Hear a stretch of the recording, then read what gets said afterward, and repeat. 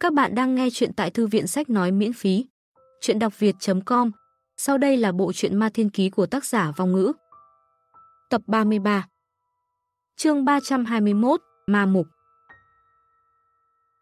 Từ hồi suýt bị người ta đoạt xá, khi trở về tông môn, hắn đã đi tìm khá nhiều điển tịch có liên quan đến vấn đề này để đọc từ biết được vài chuyện tu luyện giả nhân họa đắc phúc sau khi bị người khác đoạt xá thất bại.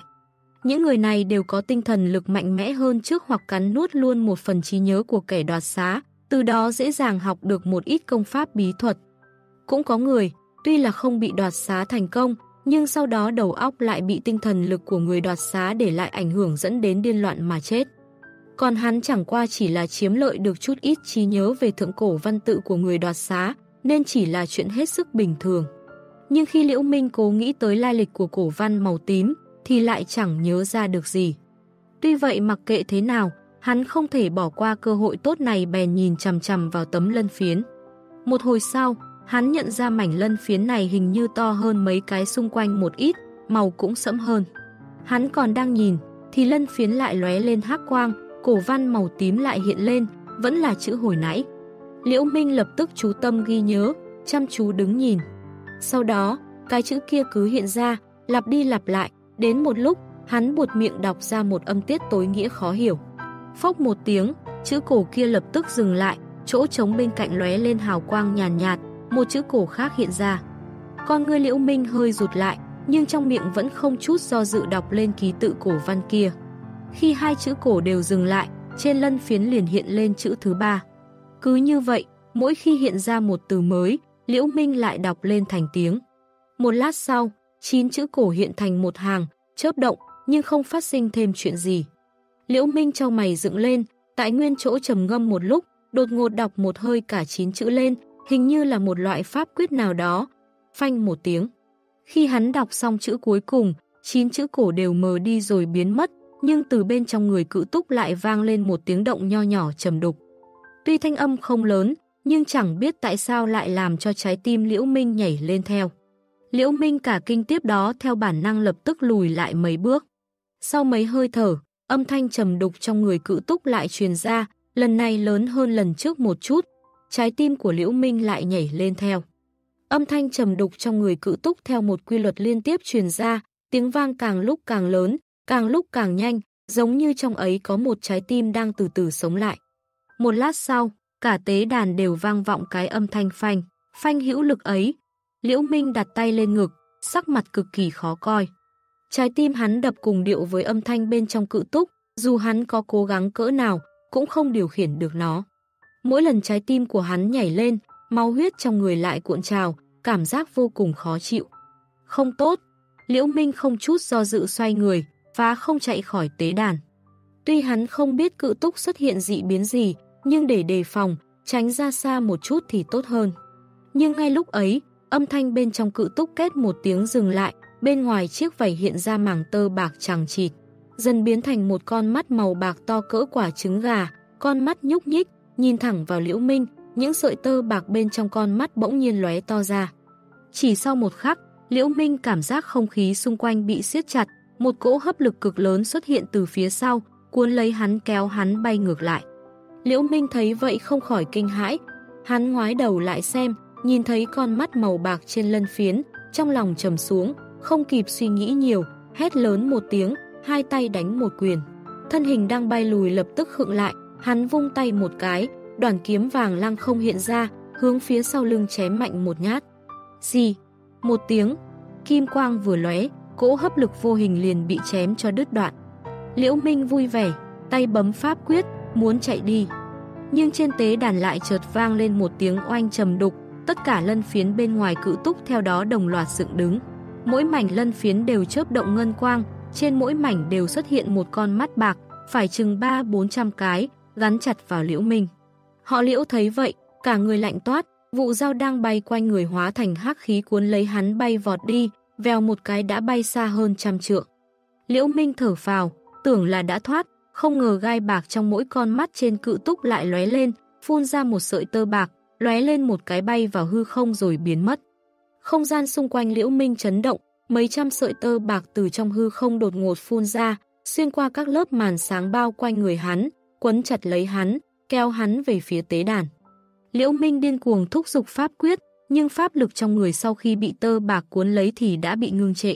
Đồng thời một luồng năng lượng không biết tên điên cuồng truyền vào trong người hắn, làm tứ chi hắn bải hoải, không còn khí lực. Đến lúc này, nội tâm của hắn đã trầm hẳn xuống. Cùng lúc ấy, lớp xích màu trắng quấn quanh cự túc vốn hơn phân nửa vùi sâu vào trong cự túc, lại ông ông nổi lên. Những sợi xích chuyển thành bảy màu, tỏa ra từng sợi lửa vàng, quấn chặt vào nhau. Bị, sợi xích bảy màu siết chặt, cộng thêm bị lửa vàng nướng, mấy trăm con mắt bạc chớp chớp, phát ra thanh âm xì xì quái dị, bằng mắt thường cũng nhìn thấy được chúng đang bị thu nhỏ lại. Cùng lúc, bên dưới cự túc xuất hiện một vết tích, vết tích mở to dần, lộ ra một cái miệng lớn đầy máu, hướng mở miệng chính là Liễu Minh đang bị tơ bạc kéo tới. Liễu Minh nhìn thấy cái miệng máu, thì hoảng sợ, nhưng cả người đã bị kiềm chế, chỉ đành dương mắt nhìn mình từng chút từng chút bị lôi lại gần tế đàn. Hắn quyết định, khi đến chỗ cự túc, sẽ liều mạng hy sinh chân nguyên, phóng xuất thiên cương kiếm phôi trong người ra. Hắn nghĩ, nếu phóng ra được hết uy năng khủng bố bên trong kiếm phôi, chắc chắn có thể làm tổn thương cự túc, đây là thủ đoạn duy nhất còn lại của hắn. Chỉ cần hắn vượt qua được, lớp xích bảy màu kia sẽ lại chấn áp cự túc như trước. Nhưng đột nhiên trong người Liễu Minh lại truyền ra một cảm giác quen thuộc khác thường. Hắn giật mình, lập tức quét tinh thần lực vào trong thể nội, thấy bên trong cái bong bóng khí óng ánh cỡ hạt đậu chẳng biết từ đâu ra kia bên trong linh hải. Đang chớp động, bên trong truyền ra một cảm giác khát vọng nhắm thẳng vào cự túc đang bị phong ấn trên tế đàn. Liễu Minh mừng rỡ, bong bóng khí thần kia bí lại bắt đầu cục cựa rồi. Phốc một tiếng. Đám tơ bạc đang quấn quanh người Liễu Minh đột nhiên bốc cháy, hóa thành khói xanh biến mất. Tơ bạc vừa biến mất, thân hình hắn cũng dừng lại, không bị lôi kéo nữa, pháp lực và tứ chi cũng lập tức khôi phục bình thường. Cự túc trên tế đàn bị lửa vàng nướng, mấy trăm con mắt bạc trên lân phiến đã biến mất, lớp xích bảy màu siết chặt thêm xuống, rằng co với cự túc. Cái miệng kia cố gắng vẫn hết sức mở to, hắc khí trong miệng ảo ạt phóng ra, Liễu Minh vô cùng mừng rỡ. Cái bong bóng khí thần bí này quả nhiên có liên quan tới tứ chi bị phong ấn của cự ma. Nhưng chỉ sau một khắc, cái miệng to của cự túc đột nhiên phát ra một tiếng kêu quái dị, rồi phanh một tiếng. Phun ra một cột sáng màu đen, vượt qua không gian, chui vào trong người Liễu Minh, điên cuồng lao thẳng về phía cái bong bóng khí thần bí. Liễu Minh tức thì trước mắt tối sầm, hai tai ông một tiếng, nhắm hai mắt lại.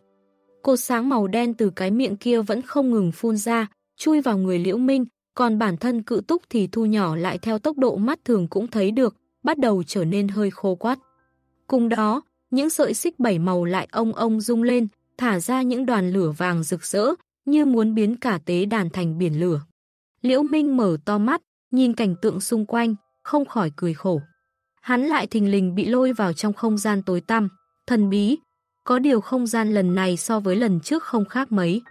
Liễu Minh kiểm tra thoáng qua, rồi tùy tiện tìm một chỗ ngồi xuống xếp bằng, im lặng suy nghĩ lại mọi việc. Quá rõ ràng, lần này hắn bị lôi vào đây chắc chắn có liên quan tới cột sáng do cự túc phun ra. Hắn vừa tiếp xúc với nó, thần thức đã bị lôi kéo vào không gian này, nhưng vẫn thông qua tinh thần lực cảm ứng được ma khí khủng bố ẩn chứa bên trong cột sáng. Từ chuyện hồi trước bong bóng khí thần bí hấp thụ pháp lực của hắn nhiều lần và chuyện cự thủ chống trời mất tích, hắn rút ra kết luận rằng điều kiện để thần thức của hắn có thể tiến vào không gian này chính là bong bóng khí phải hấp thu được rất nhiều năng lượng. Mỗi lần hấp thu năng lượng, bong bóng khí sẽ làm cho không gian này thay đổi một chút, điều đó sẽ lại tác động đến mức độ năng lượng cần hấp thụ cho lần tiếp theo.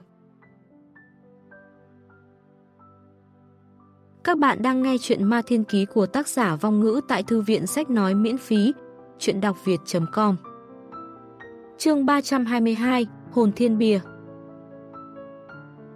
Thời điểm trước đây, hắn hấp thu pháp lực là để cho không gian này mở rộng hơn. Nào ngờ sau khi bàn tay khổng lồ biến mất, lại làm cho không gian bổng dưng hiện ra tên Liễu Minh thứ hai. Nếu dựa theo quy luật như vậy, bàn chân lớn này cùng với bàn tay khổng lồ trước đây đều là một bộ phận tứ chi của cự ma. Nếu hấp thụ loại năng lượng này, trong không gian rất có thể lại xuất hiện thêm nhiều Liễu Minh khác. Nhưng dù sao tất cả cũng chỉ là suy đoán của hắn, có hay không xảy ra, còn phải trực tiếp thử qua mới biết được. Hắn vẫn không thể nào khẳng định bản thân phải lưu lại không gian này trong thời gian bao lâu. Lần thứ nhất, bàn tay khổng lồ xuất hiện, hắn đã trực tiếp hôn mê và có một giấc mơ kỳ lạ. Liễu Minh xếp bằng ở trong không gian thần bí, lúc đang âm thầm suy nghĩ, bỗng nhiên toàn bộ không gian khẽ run lên, đỉnh đầu bỗng nhiên truyền ra tiếng oanh long long quái dị. Liễu Minh cả kinh, vội vàng ngẩng đầu nhìn lên. Chỉ thấy vùng không gian tối tăm mờ mịt chẳng biết từ lúc nào đã bành trướng một cách mãnh liệt, trong trận nổ vang, sương mù điên cuồng chuyển động, toàn bộ không trung mơ hồ hình thành một đạo vòng xoáy khổng lồ. Liễu Minh biến sắc, theo bản năng vội vàng lui vài bước, một tay hư không một chảo, đem đoàn kiếm màu vàng xuất ra, bộ dạng như lầm đại địch. Đúng lúc này, trong vòng xoáy phát ra một tiếng tiêm mình, một đoàn hắc khí bỗng nhiên từ đó kích bắn ra, nhằm thẳng chỗ vòng xoáy yếu nhất. Oanh một tiếng, lúc này một màn sáng màu trắng bỗng hiện ra, vừa vặn đem vòng xoáy chặn lại chắc chắn. Hắc khí va chạm trên màn sáng, tia sáng trắng đại phóng, đem đoàn hắc. Khí này cứng rắn đẩy ra sau khi rung lên mấy cái, lại ngưng kết như lúc ban đầu. Trong hắc khí phát ra một tiếng kêu bé nhọn, sau khi quay tít một vòng, bỗng nhiên huyễn hóa ra một gương mặt cực lớn với ngũ quan thình lình giống y như đúc họ liễu. Chẳng qua hai mắt giống ngọn lửa bốc cháy, mặt mũi tràn đầy vẻ điên cuồng đồng thời há miệng, gương mặt khổng lồ phun ra vô số hỏa cầu màu đen, điên cuồng trùng kích màn sáng màu trắng. Tức thì, hỏa cầu màu đen cùng tia sáng màu trắng đan vào nhau cùng một chỗ, từng nhóm từng nhóm vỡ tan. Oanh! Một tiếng nổ lớn, hầu như tràn ngập toàn bộ thần bí không gian. Liễu Minh thấy tình hình quỷ dị như vậy, trong nội tâm hoảng sợ, bàn tay nắm màu vàng đoàn kiếm, không khỏi toát mồ hôi lạnh. Bất quá màn sáng thả ra tia sáng trắng hiển nhiên cao hơn một bậc, hắc diễm dần dần bị tia sáng trắng làm cho liên tiếp lui về phía sau. Lúc gương mặt khổng lồ ngừng tiếng kêu kỳ quái cùng hắc diễm trong miệng, màn sáng vẫn bình yên như lúc ban đầu, không thấy có có chút vết rách.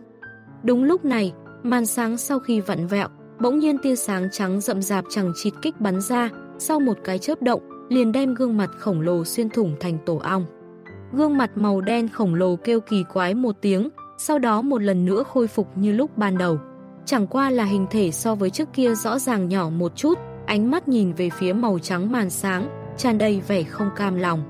Nhưng vào lúc này, vòng xoáy nổi lên tiếng sét, từ bốn phương tám hướng tuôn ra vô số màu xanh hồ quang điện. Sau khi đan vào cùng một chỗ, đồng thời hướng chính giữa màu đen gương mặt khổng lồ chúi xuống mà đi. Gương mặt khổng lồ màu đen thấy vậy bèn gầm nhẹ một tiếng sau đó quay đầu kích bắn về phía sau như muốn chạy trốn. Đúng lúc này, màu trắng bên trên màn sáng bỗng nhiên phun ra một chùm tia sáng, sau một cái chớp động, liền quấn chặt lấy gương mặt khổng lồ. Gương mặt khổng lồ màu đen thấy vậy lập tức kinh hãi dãy dụa lần nữa phun ra hắc diễm.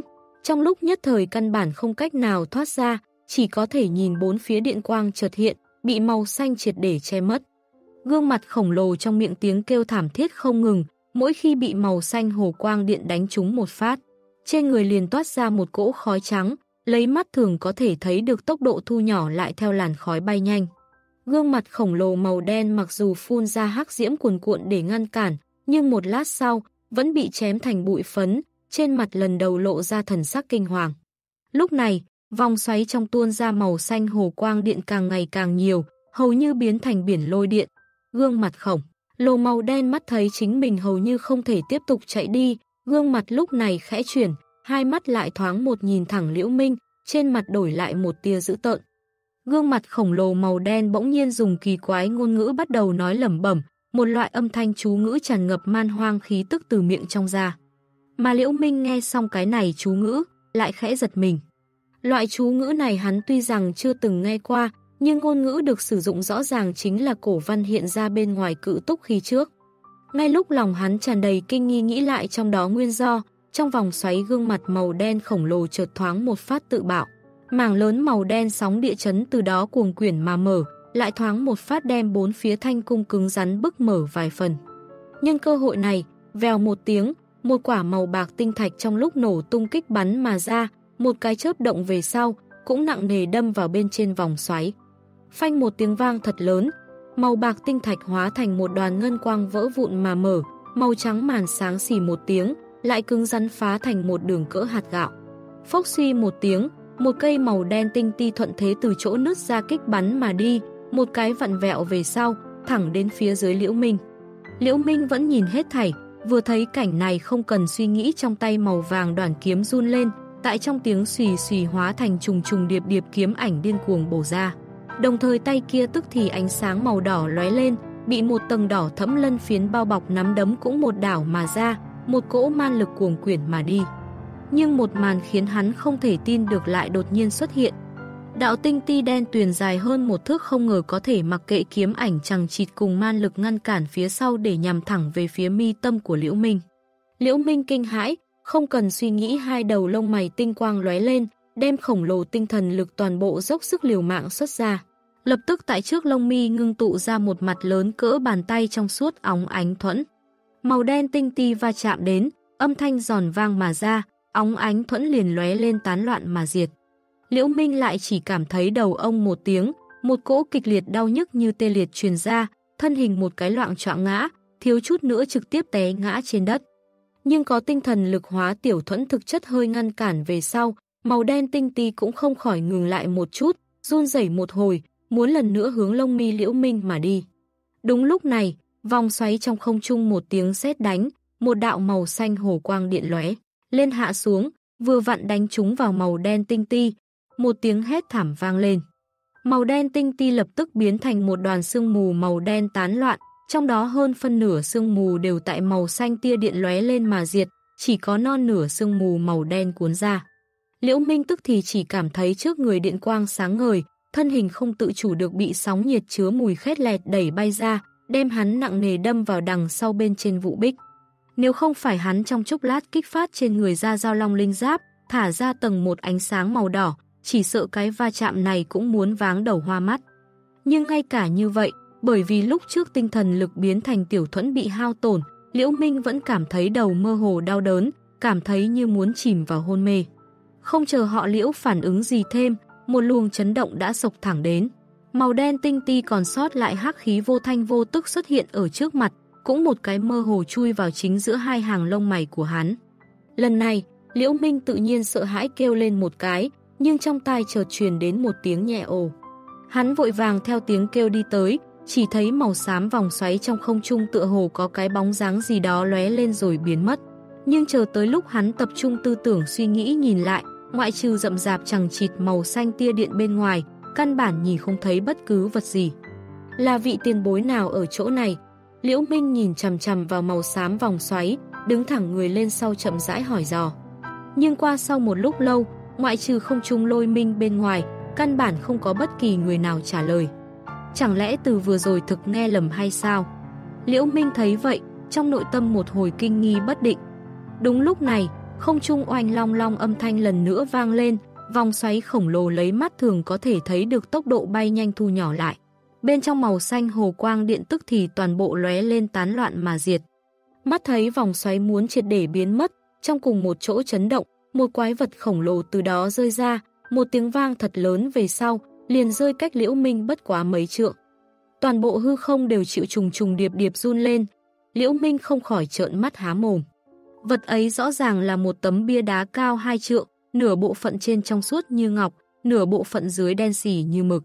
Mà ở chính giữa lại in hình một chiếc đồng hồ cát hơn một xích cao màu vàng, bên trong có màu bạc hạt cát tại từ đó rơi xuống. Cái này là... Liễu Minh liếm bờ môi có chút khô khốc, sau một lát trần trừ, vẫn là chậm rãi, đi tới, cũng vòng quanh tấm bia đá hai vòng. Tấm bia đá, in rõ vô số hình vẽ tên ma quái không biết, nguyên một đám dương nanh múa vuốt, hết sức dữ tợn, mà ở trung tâm những ma quái hình vẽ này, tức thì in ba cái màu tím cổ văn lớn. Hồn thiên bia liễu minh thì thào dùng nhân tộc ngôn ngữ gọi ra ba cái màu tím cổ văn hàm nghĩa, sắc mặt một hồi âm tình bất định. Bất quá thời điểm khi hắn lần nữa quay lại chính diện tấm bia đá, trong nội tâm khẽ nhướng mày, đứng ở phía trước tấm bia đá bất động một chút. Hắn không có nhìn lầm, phía trên đồ án đồng hồ cát màu vàng ở chính giữa, hạt cát màu bạc tựa hồ so với vừa rồi thiếu đi một ít, mà phía dưới màu bạc đống cát tức thì nhiều hơn một ít. Liễu Minh hai mắt nhíu lại, lặng lặng nhìn đồ án đồng hồ cát trên tấm bia đá, một lời không nói. Kết quả mười mấy hơi thở về sau, trong đồng hồ màu vàng cát bỗng nhiên một cái mơ hồ, bên trong từng điểm ngân quang sau khi lóe lên, phía dưới nhỏ xuống màu bạc hạt cát nhiều hơn chừng mười mấy hạt. Liễu Minh thở khẽ một hơi, ánh mắt hướng phía trên đồng hồ cát màu vàng quét qua, chỉ thấy phía trên màu bạc hạt cát quả nhiên cũng chỉ còn lại có hơi mỏng một tầng, chỉ có hơn trăm hạt bộ dạng. Hắn tâm niệm nhanh chóng chuyển động không thôi, trong lúc nhất thời ngược lại cũng không biết những hiện tượng này đến cùng đại biểu cho có ý gì. Hắn ngẩng đầu lại nhìn coi mặt trên, chỉ thấy vòng xoáy khổng lồ sớm đã không thấy bóng dáng, một lần nữa khôi phục cảnh tượng tối tăm mờ mịt vụ bích. Liễu Minh suy nghĩ trong chốc lát, lại cúi đầu nhìn nhìn tấm bia đá trước mắt, bỗng nhiên duỗi ra một ngón tay, một đâm hướng trên tấm bia đá trắng nõn. Đầu ngón tay chỗ tiếp xúc tấm bia đá lập tức, một cỗ ấm áp chi ý từ đó bay vọt mà ra. Liễu Minh trong nội tâm dùng mình, đem ngón tay mở ra, lại lao xuống bộ phận mặt đen xì như mực một đâm. Kết quả một cảm giác lạnh buốt truyền đến. Các bạn đang nghe chuyện Ma Thiên Ký của tác giả vong ngữ tại thư viện sách nói miễn phí, chuyện đọc việt.com Chương 323, Hồn Thiên Diện Thế Liễu Minh chớp mắt vài cái, nhưng không lập tức thu hồi ngón tay mà lại lộ ra thần sắc đam chiêu, chẳng biết tại sao. Trên ngón tay sau hai lần tiếp xúc, tấm bia đá lại cho hắn một loại cảm giác quen thuộc, giống như sớm đã bị tế luyện nhiều lượt, giống như cùng huyết mạch tương thông. Liễu Minh trong nội tâm giật mình, sau khi suy nghĩ một chút, đem một tia pháp lực thử rót vào trong đó. Ngay lập tức, tấm bia đá trước mắt bỗng nhiên run lên đồng thời phát ra âm thanh ông ông hơn nữa mặt cát màu vàng bên ngoài còn có kim quang. Chớp động, hắn cả kinh vội vàng thu hồi ngón tay, ánh mắt nhìn qua hình vẽ trên mặt đồng hồ cát, liền phát hiện nửa thân trên của nó đã trở nên rỗng tuếch, một viên màu bạc hạt cát cũng không có. Mặt ngoài tấm bia đá cũng theo đó trở nên mơ hồ, đồ án đồng hồ cát màu vàng lại tại ngay trước mắt hắn, đảo ngược một cách quỷ dị. Tiếp theo, Liễu Minh chỉ thấy trước mắt một hồi tối đen, sau khi đầu trầm xuống, thần thức liền thoát ly không gian thần bí, một lần nữa xuất hiện ở trên không trung tế đàn. Hắn biến sắc bắt đầu đánh giá mọi nơi, phát hiện mình thân hình đang theo bản năng lơ lửng ở trên không, bàn chân không lổ bị phong ấn trên tế đàn thình lình rút nhỏ chừng hơn 10 lần so với trước. Chẳng những chỗ miệng lớn lòng bàn chân không thấy bóng dáng, bản thân nó cũng biến thành một đoạn thây khô dài hơn 10 trượng không còn chút nào sinh cơ. Khô quắt cự túc tất cả đều trở nên khô héo ảm đạm, mặt ngoài càng nhiều hơn một ít bột phấn màu trắng không biết tên. Liễu Minh cẩn thận ngóng nhìn những thứ bột phấn này trong chốc lát, sau đó mới bừng tỉnh đại ngộ phát hiện bọn chúng trước tiên là màu trắng phù liệm biến thành. Chẳng qua là không biết nguyên nhân gì, vậy mà toàn bộ biến thành bột phấn hình dáng.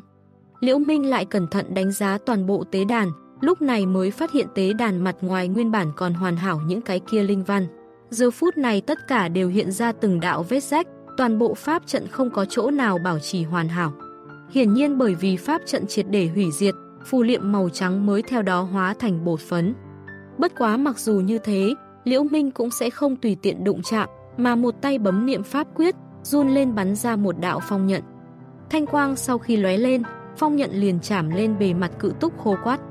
Lại xuất hiện một màn để cho hắn chấn động. Phốc một tiếng, sau khi phong nhận lóe lên, khô quát cự túc lại trong khoảnh khắc biến thành một đống đen xám. Liễu Minh thật sự giật mình, bộ phận thân thể bị phong ấn này cứ như vậy đã bị hủy diệt rồi. Đây chính là điều mà vô số đại năng chi sĩ thời thượng cổ đều không thể làm được. Liễu Minh nhìn màu đen cho tàn trên tế đàn, trong nội tâm tràn đầy cảm giác khó có thể tin.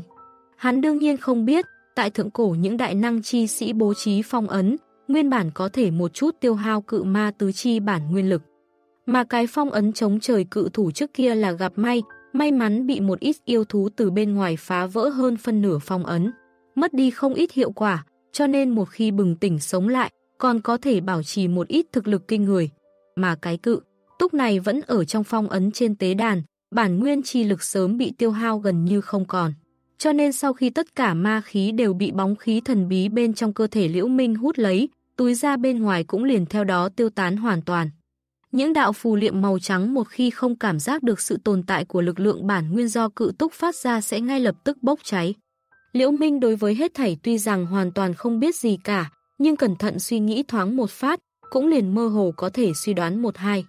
Sau khi thu hồi vẻ kinh ngạc, hắn lại tập trung quan sát đống cho đen cao gần nửa trượng trồng chất trên tế đàn, suy nghĩ một chút, lại một tay vỗ túi ra bên hông, một đoàn hắc khí xông ra, sau khi quay tròn, liền biến thành một cái đầu lâu nam nhân tóc xanh rũ rượi.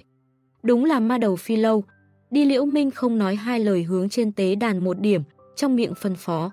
Phi lâu nghe vậy, xoay người một cái hướng cự túc khô quát bay thật nhanh đi, không có chần chừ chút nào.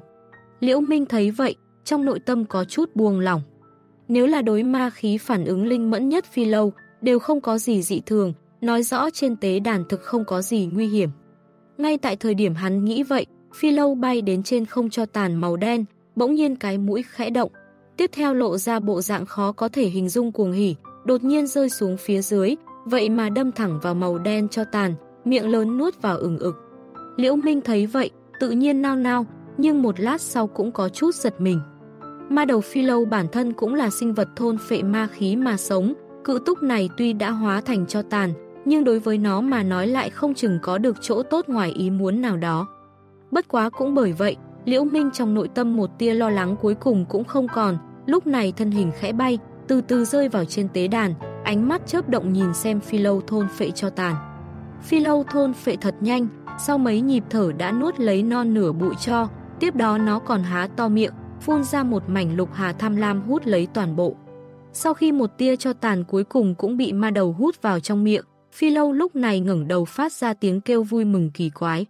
Liễu Minh thấy vậy, chợt nhớ tới cái gì, một tay hướng trong tay áo vừa sờ, móc ra một cái túi da không lớn, cũng hướng bên cạnh ma đầu ném đi. Phi lâu há miệng ra, một cỗ lục khí một cuốn mà qua, đem túi da ăn mòn thành tổ ong, từ đó đinh đường rơi ra tinh thạch màu đen chất đống trên mặt đất. Đúng là hơn trăm khối ma tinh mà Liễu Minh thắng được, từ tay quan chỉ ương lúc trước. Phi lâu vốn là ngẩn ngơ, tiếp theo miệng há to, đem một viên ma tinh trực tiếp hấp đến trong miệng, ực sau một loạt tiếng vang, trong mắt lập tức hiện lên thần sắc vui mừng. Sau đó nó lại há miệng ra, liền đem tất cả hắc tinh trên mặt đất toàn bộ khẽ hút vào, lật đà lật đật bay về phía Liễu Minh. Liễu Minh thấy vậy, không nói hai lời khẽ run tay áo, phanh một tiếng. Phi lâu hóa thành một đoàn hắc khí đánh xoẹt một tiếng sau đó lập tức chui vào trong túi ra bên hông hắn. Liễu Minh lúc này mới nhẹ thở ra một hơi, thân sắc trên mặt đã trở nên khá hơn một chút. Phi lâu tại lúc hướng hắn bay tới, dùng thần thức truyền tới ý tứ muốn ngủ say một đoạn thời gian. Rất hiển nhiên, những màu đen cho tàn này cùng ma tinh đối với thương thế ma đầu có lợi thật lớn, thậm chí nói không chừng còn có thể khiến nó sinh ra tiến giai dị biến. Điều này làm hắn không khỏi nhiều hơn một phần chờ mong. Tiếp theo, Liễu Minh không có lập tức rời khỏi tế đàn, mà lại vỗ một túi da khác nằm bên hông. Một đoàn tử khí từ miệng túi một cuốn mà ra, hơn một trượng lớn nhỏ bò cạp khổng lồ lúc này trên mặt đất thoáng cái hiện ra. Cũng phát ra tiếng kêu vui mừng lập tức tiến tới trước mặt Liễu Minh, dùng đầu lâu giữ tợn cọ sát đùi hắn. Đi, canh giữ ở phụ cận cho tốt, không cho phép bất luận kẻ nào tới gần. Liễu Minh dùng bàn tay vỗ vỗ vào đôi càng độ cao đã đến bẹn đùi, dùng thanh âm trầm thấp phân phó. Cốt hạt nghe vậy, xoay người một cái, nhanh chóng bỏ tới chỗ biên giới tế đàn, lập tức nằm sấp trên mặt đất bất động. Cốt hạt này từ khi biến dị tiến cấp tới ngưng dịch cảnh, hầu như không cần dùng đến thần thức câu thông, cũng có thể nghe hiểu hơn nửa ngôn ngữ của hắn. Cái này khiến Liễu Minh càng thuận tiện. Lúc này, Liễu Minh cũng ngồi xếp bằng trên mặt đất, một tay sau khi bấm niệm pháp quyết, bên ngoài thân hắc khí cuồn cuộn, đem thân hình dần dần bao phủ. Cùng lúc đó, tinh thần lực một chút đắm chìm, bắt đầu kiểm tra hết thảy thân thể của mình. Ở trong thần bí không gian, màu đen tinh ti kia tập kích tuy hơn phân nửa đã bị diệt, nhưng vẫn có một chút lưu lại hắc khí, chui vào trong lông mi hắn. Hắn tuy rằng đến bây giờ một mực không có cảm nhận được điều gì khác thường, nhưng để có thể thực sự yên tâm, tự nhiên muốn cẩn thận kiểm tra vài lần mới được. Bóng khí thần bí trong linh hải, như mọi lần cũng đã biến mất một cách quỷ dị. Về phần những nơi khác trong cơ thể, vô luận kinh mạch hay là đan điền đều như thường, không có chút nào phát hiện hắc khí kia tồn tại. Nhưng càng là như thế, Liễu Minh càng là trong nội tâm, trầm xuống. Hắn thở dài một hơi, trong tay pháp quyết biến đổi, lúc này phân ra một đám thần niệm hướng thần thức hải chính mình tìm tòi. Kết quả sau một khắc, Liễu Minh không khỏi trợn mắt há mồm. Chỉ thấy ở bên trong thần thức hải hắn, ngoại trừ không ngoài sở liệu hơn ra một ít không biết tên hắc khí, thình linh còn có một tòa vật thể lấp lánh hình chữ nhật. Một nửa đen xì như mực, một nửa trong suốt như ngọc, mặt ngoài in một cái đồ án đồng hồ cát màu vàng, chính là khối hồn thiên bia mà hắn từng thấy trong không gian thần bí lúc trước. Vật ấy không phải ở lại trong cái không gian kia, lúc nào lại chạy đến trong thần thức hải chính mình. Đầu óc Liễu Minh không khỏi trở nên lộn xộn. Bất quá hắn dù sao cũng không phải người bình thường, một lát sau liền khôi phục tỉnh táo, bắt đầu trầm ngâm. Không gian xám xịt kia vốn thần bí dị thường, thứ đồ vật bên trong cũng đều không phải thật. Nếu thực có thể mang ly khai không gian, sẽ xuất hiện tại trong thần thức hải chính mình cũng không phải chuyện quá kỳ quái rồi. Hiện tại mấu chốt là, hắn muốn biết tấm bia đá này xuất hiện ở tại chính mình ở bên trong thần thức hải, sẽ có gì xấu hay không. Liễu Minh trong nội tâm nghĩ như vậy, thần niệm khẽ động, cực lớn tấm bia đá kia lúc này nhoáng một cái liền trực tiếp xuất hiện ở trước mắt. Liễu Minh cẩn thận nhìn, vẫn không khỏi thần sắc khẽ động. Nếu hắn nhớ không lầm, ở trong thần bí không gian kia, hồn thiên bia hình như là trên trắng dưới đen, nhưng bây giờ là trên đen dưới trắng, chẳng lẽ tấm bia đá này đã bị đảo lộn. Liễu Minh suy nghĩ như thế, thần niệm khẽ động, liền thoáng một phát đến chỗ đằng sau tấm bia đá, ba cái màu tím cổ văn rành mạch minh khắc ở đó, không có chút nào dấu hiệu đảo ngược. Hắn thần niệm lại khẽ động, lại lần nữa đến ngay phía trước tấm bia đá, ánh mắt lập tức rơi vào trong tấm bia đá chỗ giữa, chính là bên trên màu vàng đồng hồ cát kia. Đồng hồ cát này hiện tại phía dưới rỗng tuếch, không có bất kỳ vật gì, bộ phận bên dưới lại chất đầy hạt cát ngân sắc. Liễu Minh hai mắt nhíu lại, không tự chủ được nghĩ đến lúc rời đi thần bí không gian, đồng hồ cát nửa bộ phận trên rỗng tuếch. Thứ này chẳng lẽ là... Trong lòng hắn khẽ động, bỗng nhiên có suy đoán, cũng như vậy sắc mặt âm tình bất định. Không biết qua bao lâu sau, Liễu Minh hay vẫn là quyết định thử lại một chút hồn thiên bia này rồi hãy nói. Hắn hít sâu một hơi, một tay bấm niệm pháp quyết, đem một tia pháp lực hướng trong đầu đưa đi, hơn nữa lại được tinh thần lực dẫn dắt, chậm rãi hướng mặt hồn thiên bia rót vào. Pháp lực tiếp xúc tấm bia đá lập tức liên lóe lên rồi chui vào. Trong đó, cũng không có chút nào trở ngại cùng dị thường. Điều này làm cho Liễu Minh tinh thần chấn động, dần dần gia tăng lượng pháp lực rót vào. Các bạn đang nghe chuyện Ma Thiên Ký của tác giả vong ngữ tại thư viện sách nói miễn phí, chuyện đọc việt.com Chương 324, Xuất Tháp Liễu Minh thấy vậy, tim đập ầm ầm rộn lên, nhưng cắn răng một cái, không ngừng quán chú pháp lực vào trong bia đá. Thời gian cạn một chén trà về sau, đương hắn cơ hồ đã rót vào một phần ba pháp lực. Đồng hồ cắt tại trong thức hải đã hóa thành một đoàn kim sắc giống mặt trời trói trang từ phía trên thả ra kim quang trói mắt. Trong tay Liễu Minh bỗng nhiên ông một tiếng, hai mắt đen lại, cả người lần nữa chợt xuất hiện tại không gian tối tăm mờ mịt kia. Liễu Minh mở mắt thấy vậy, tự nhiên vừa mừng vừa sợ, còn chưa muốn cử động gì, bỗng nhiên hai đầu lông mày đã bộc phát kim quang. Trước người oanh một tiếng vang thật lớn, tấm bia đá khổng lồ đã hiện ra vững vàng trước mặt. Bộ dáng tấm bia đá vẫn là cực lớn như lúc trước, chỉ là lúc này đây nó đã khôi phục vẻ ngoài trên trắng dưới đen như trước kia. Hơn nữa ở chính giữa, kim sắc đồng hồ cát mơ hồ một cái, từ đó bắt đầu rơi xuống từng khỏa hạt cát ngân sắc. Một cái hô hấp, giống như rơi xuống một hạt. Liễu Minh thấy vậy, nhịn không được cười ha hả. Tuy hắn đối với lai lịch cái thần bí không gian này hoàn toàn không biết gì cả, nhưng bất kể thế nào mà nói, cuối cùng là nắm giữ phương pháp tiến vào không gian kỳ lạ này. Vấn đề này từng khiến nội tâm hắn vô cùng căng thẳng, cuối cùng cũng được buông lỏng.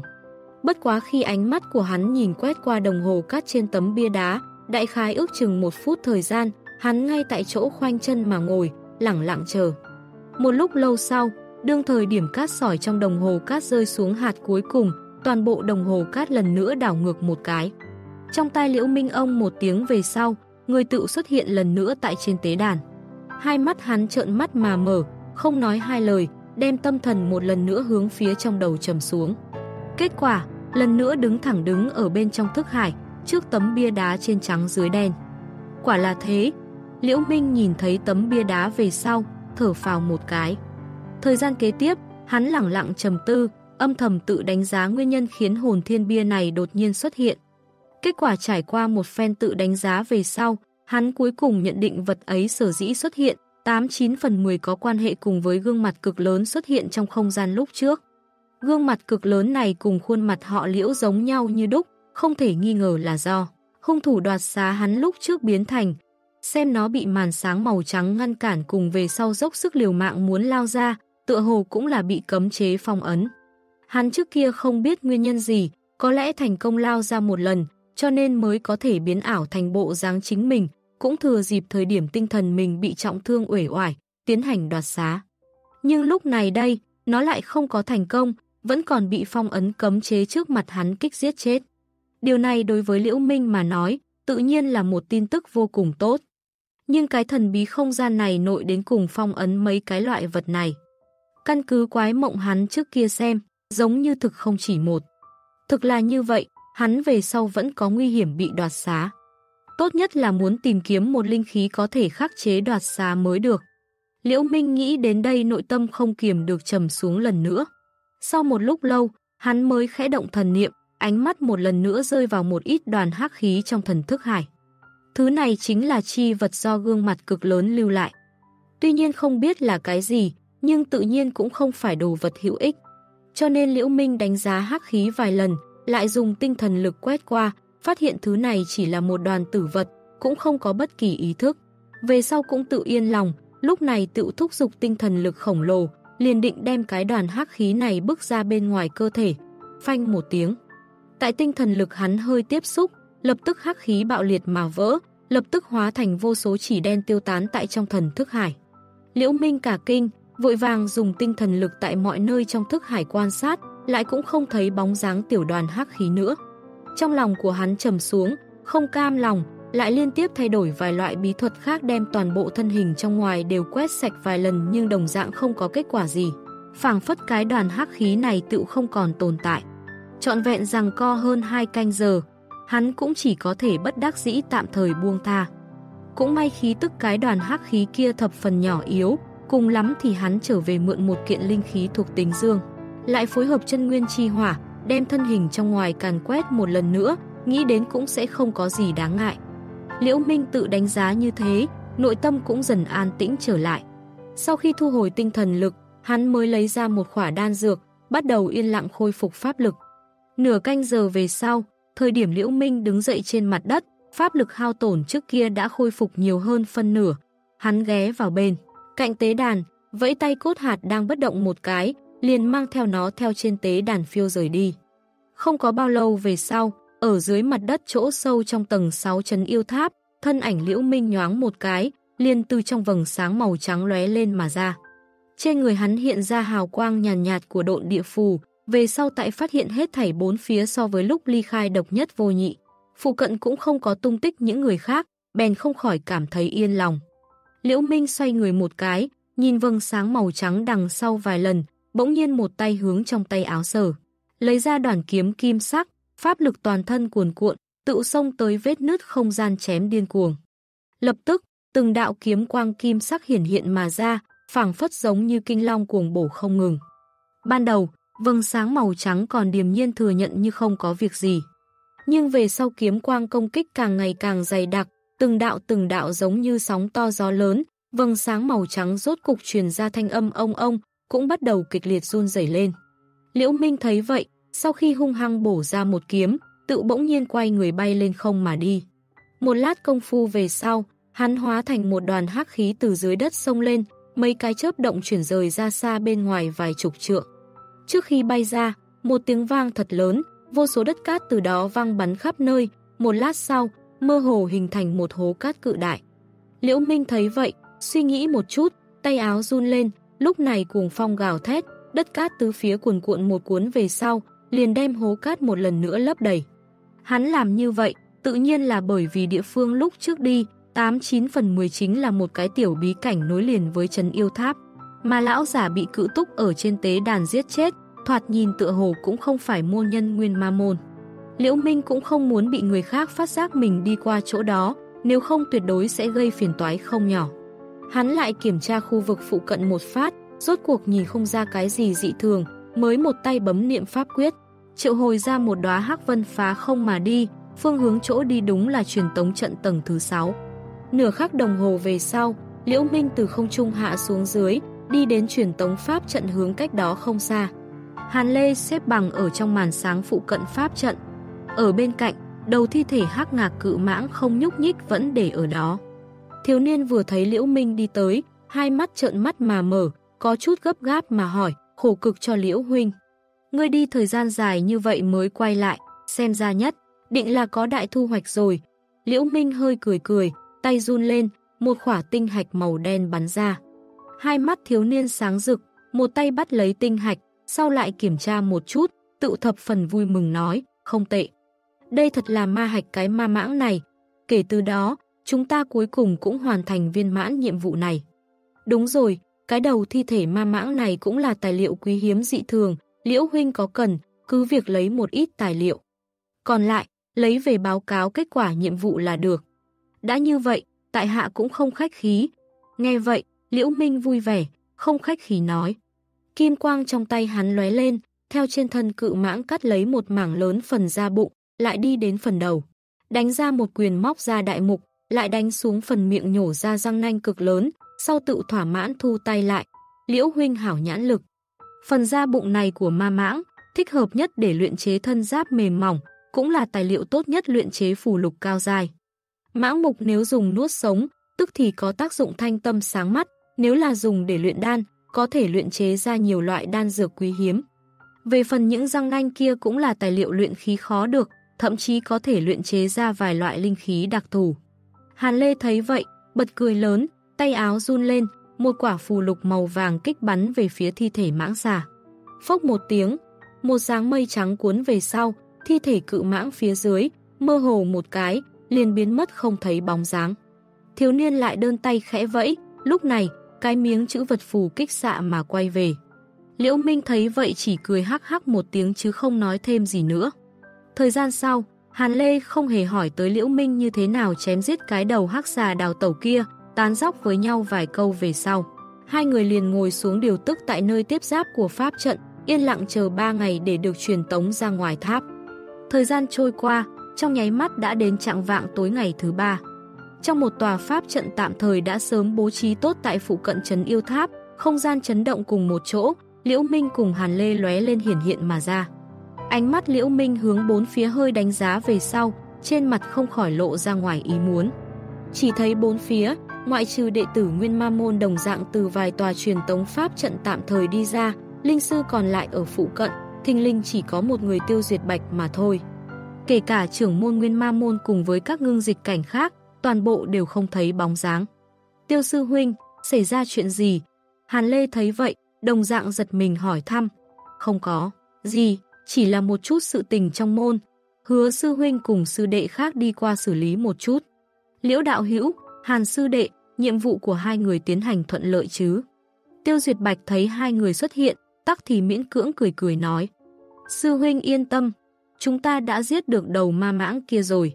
Lần này nhờ có liễu huynh tương trợ, nếu không, phải thay đổi người khác, ta thật không thể còn sống mà rời khỏi tháp.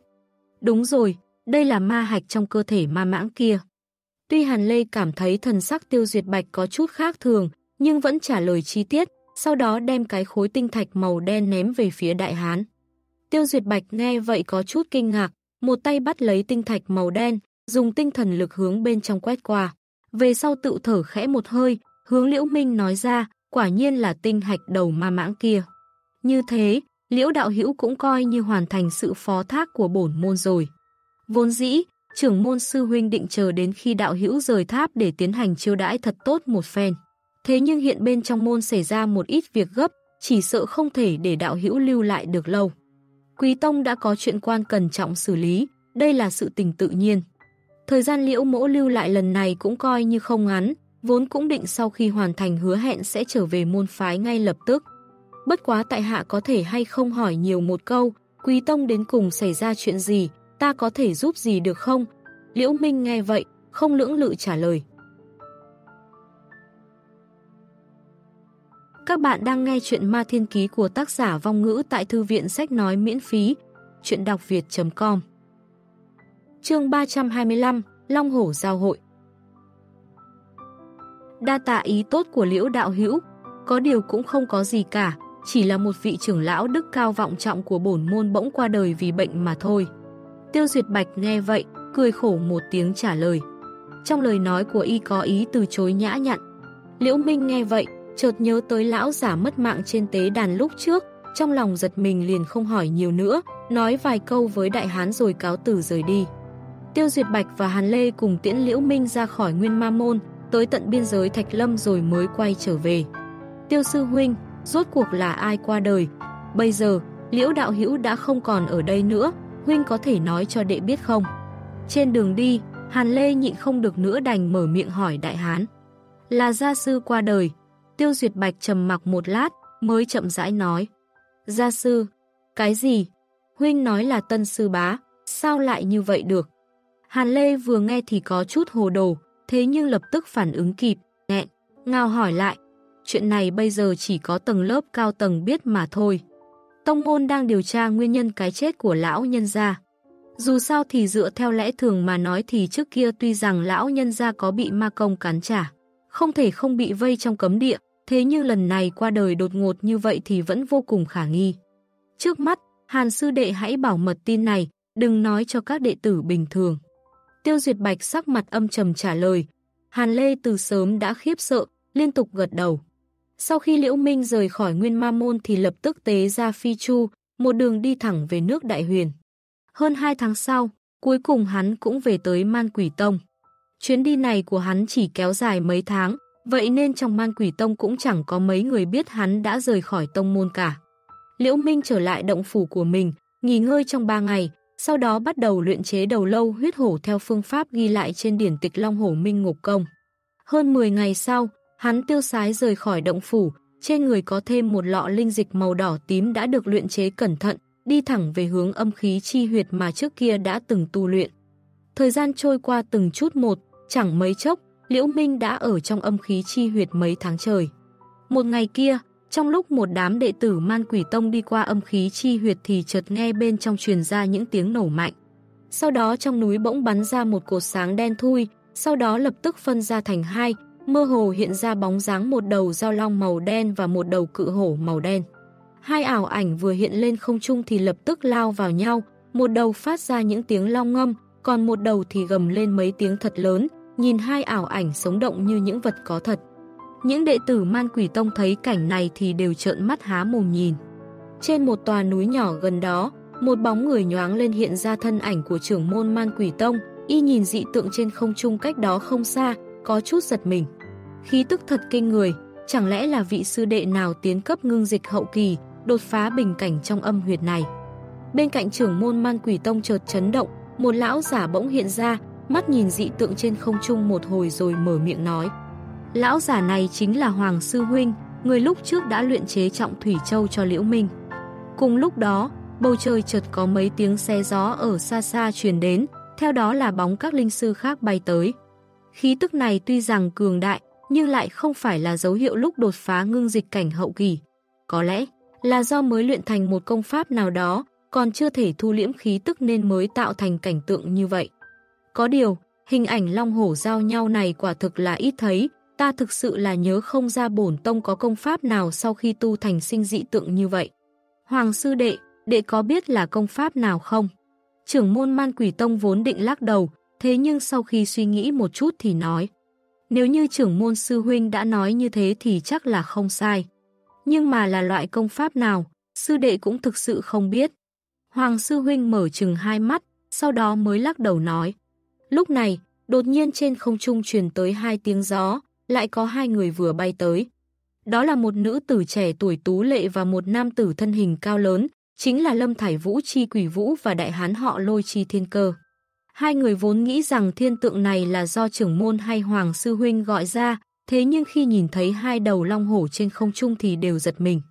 Mà trên không trung, hai đầu long hổ đang đan xen lẫn nhau, đột nhiên nổ mạnh ra, lại biến thành một cỗ hắc khí bay xuống, nhập vào đỉnh núi bên dưới, không thấy bóng dáng. Xem ra vị sư đệ này đã thu hồi công pháp, bây giờ chắc đang củng cố tu vi trong âm huyệt, sợ rằng trong lúc nhất thời sẽ không ra ngoài gặp chúng ta được. Trưởng môn man quỷ tông thấy vậy, có chút tiếc nuối nói. Sư huynh muốn biết là vị sư đệ nào ở trong âm huyệt còn không phải là chuyện dễ dàng sao. Chỉ cần gọi đệ tử trông coi âm huyệt tới là biết. Lâm Thải Vũ nghe vậy, nhẹ giọng cười. Ân, lời này của Lâm muội có lý, xem ra sư huynh đây có chút hồ đồ rồi. Trưởng môn man quỷ tông nghe vậy, cười cười rồi bấm pháp quyết, mở miệng truyền âm.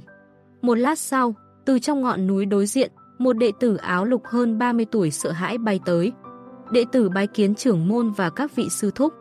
Đệ tử này vừa thấy mọi người, thì cung kính tiến lên vái chào. Ta hỏi ngươi, những ngày này, có ai vào âm khí chi huyệt? Trưởng môn man quỷ tông khoát tay chặn lại, chậm rãi hỏi. Bẩm báo trưởng môn, hiện tại bên trong âm khí chi huyệt chỉ có một mình Liễu Minh sư thúc. Đệ tử áo lục khom người trả lời, cái gì, là Liễu sư đệ.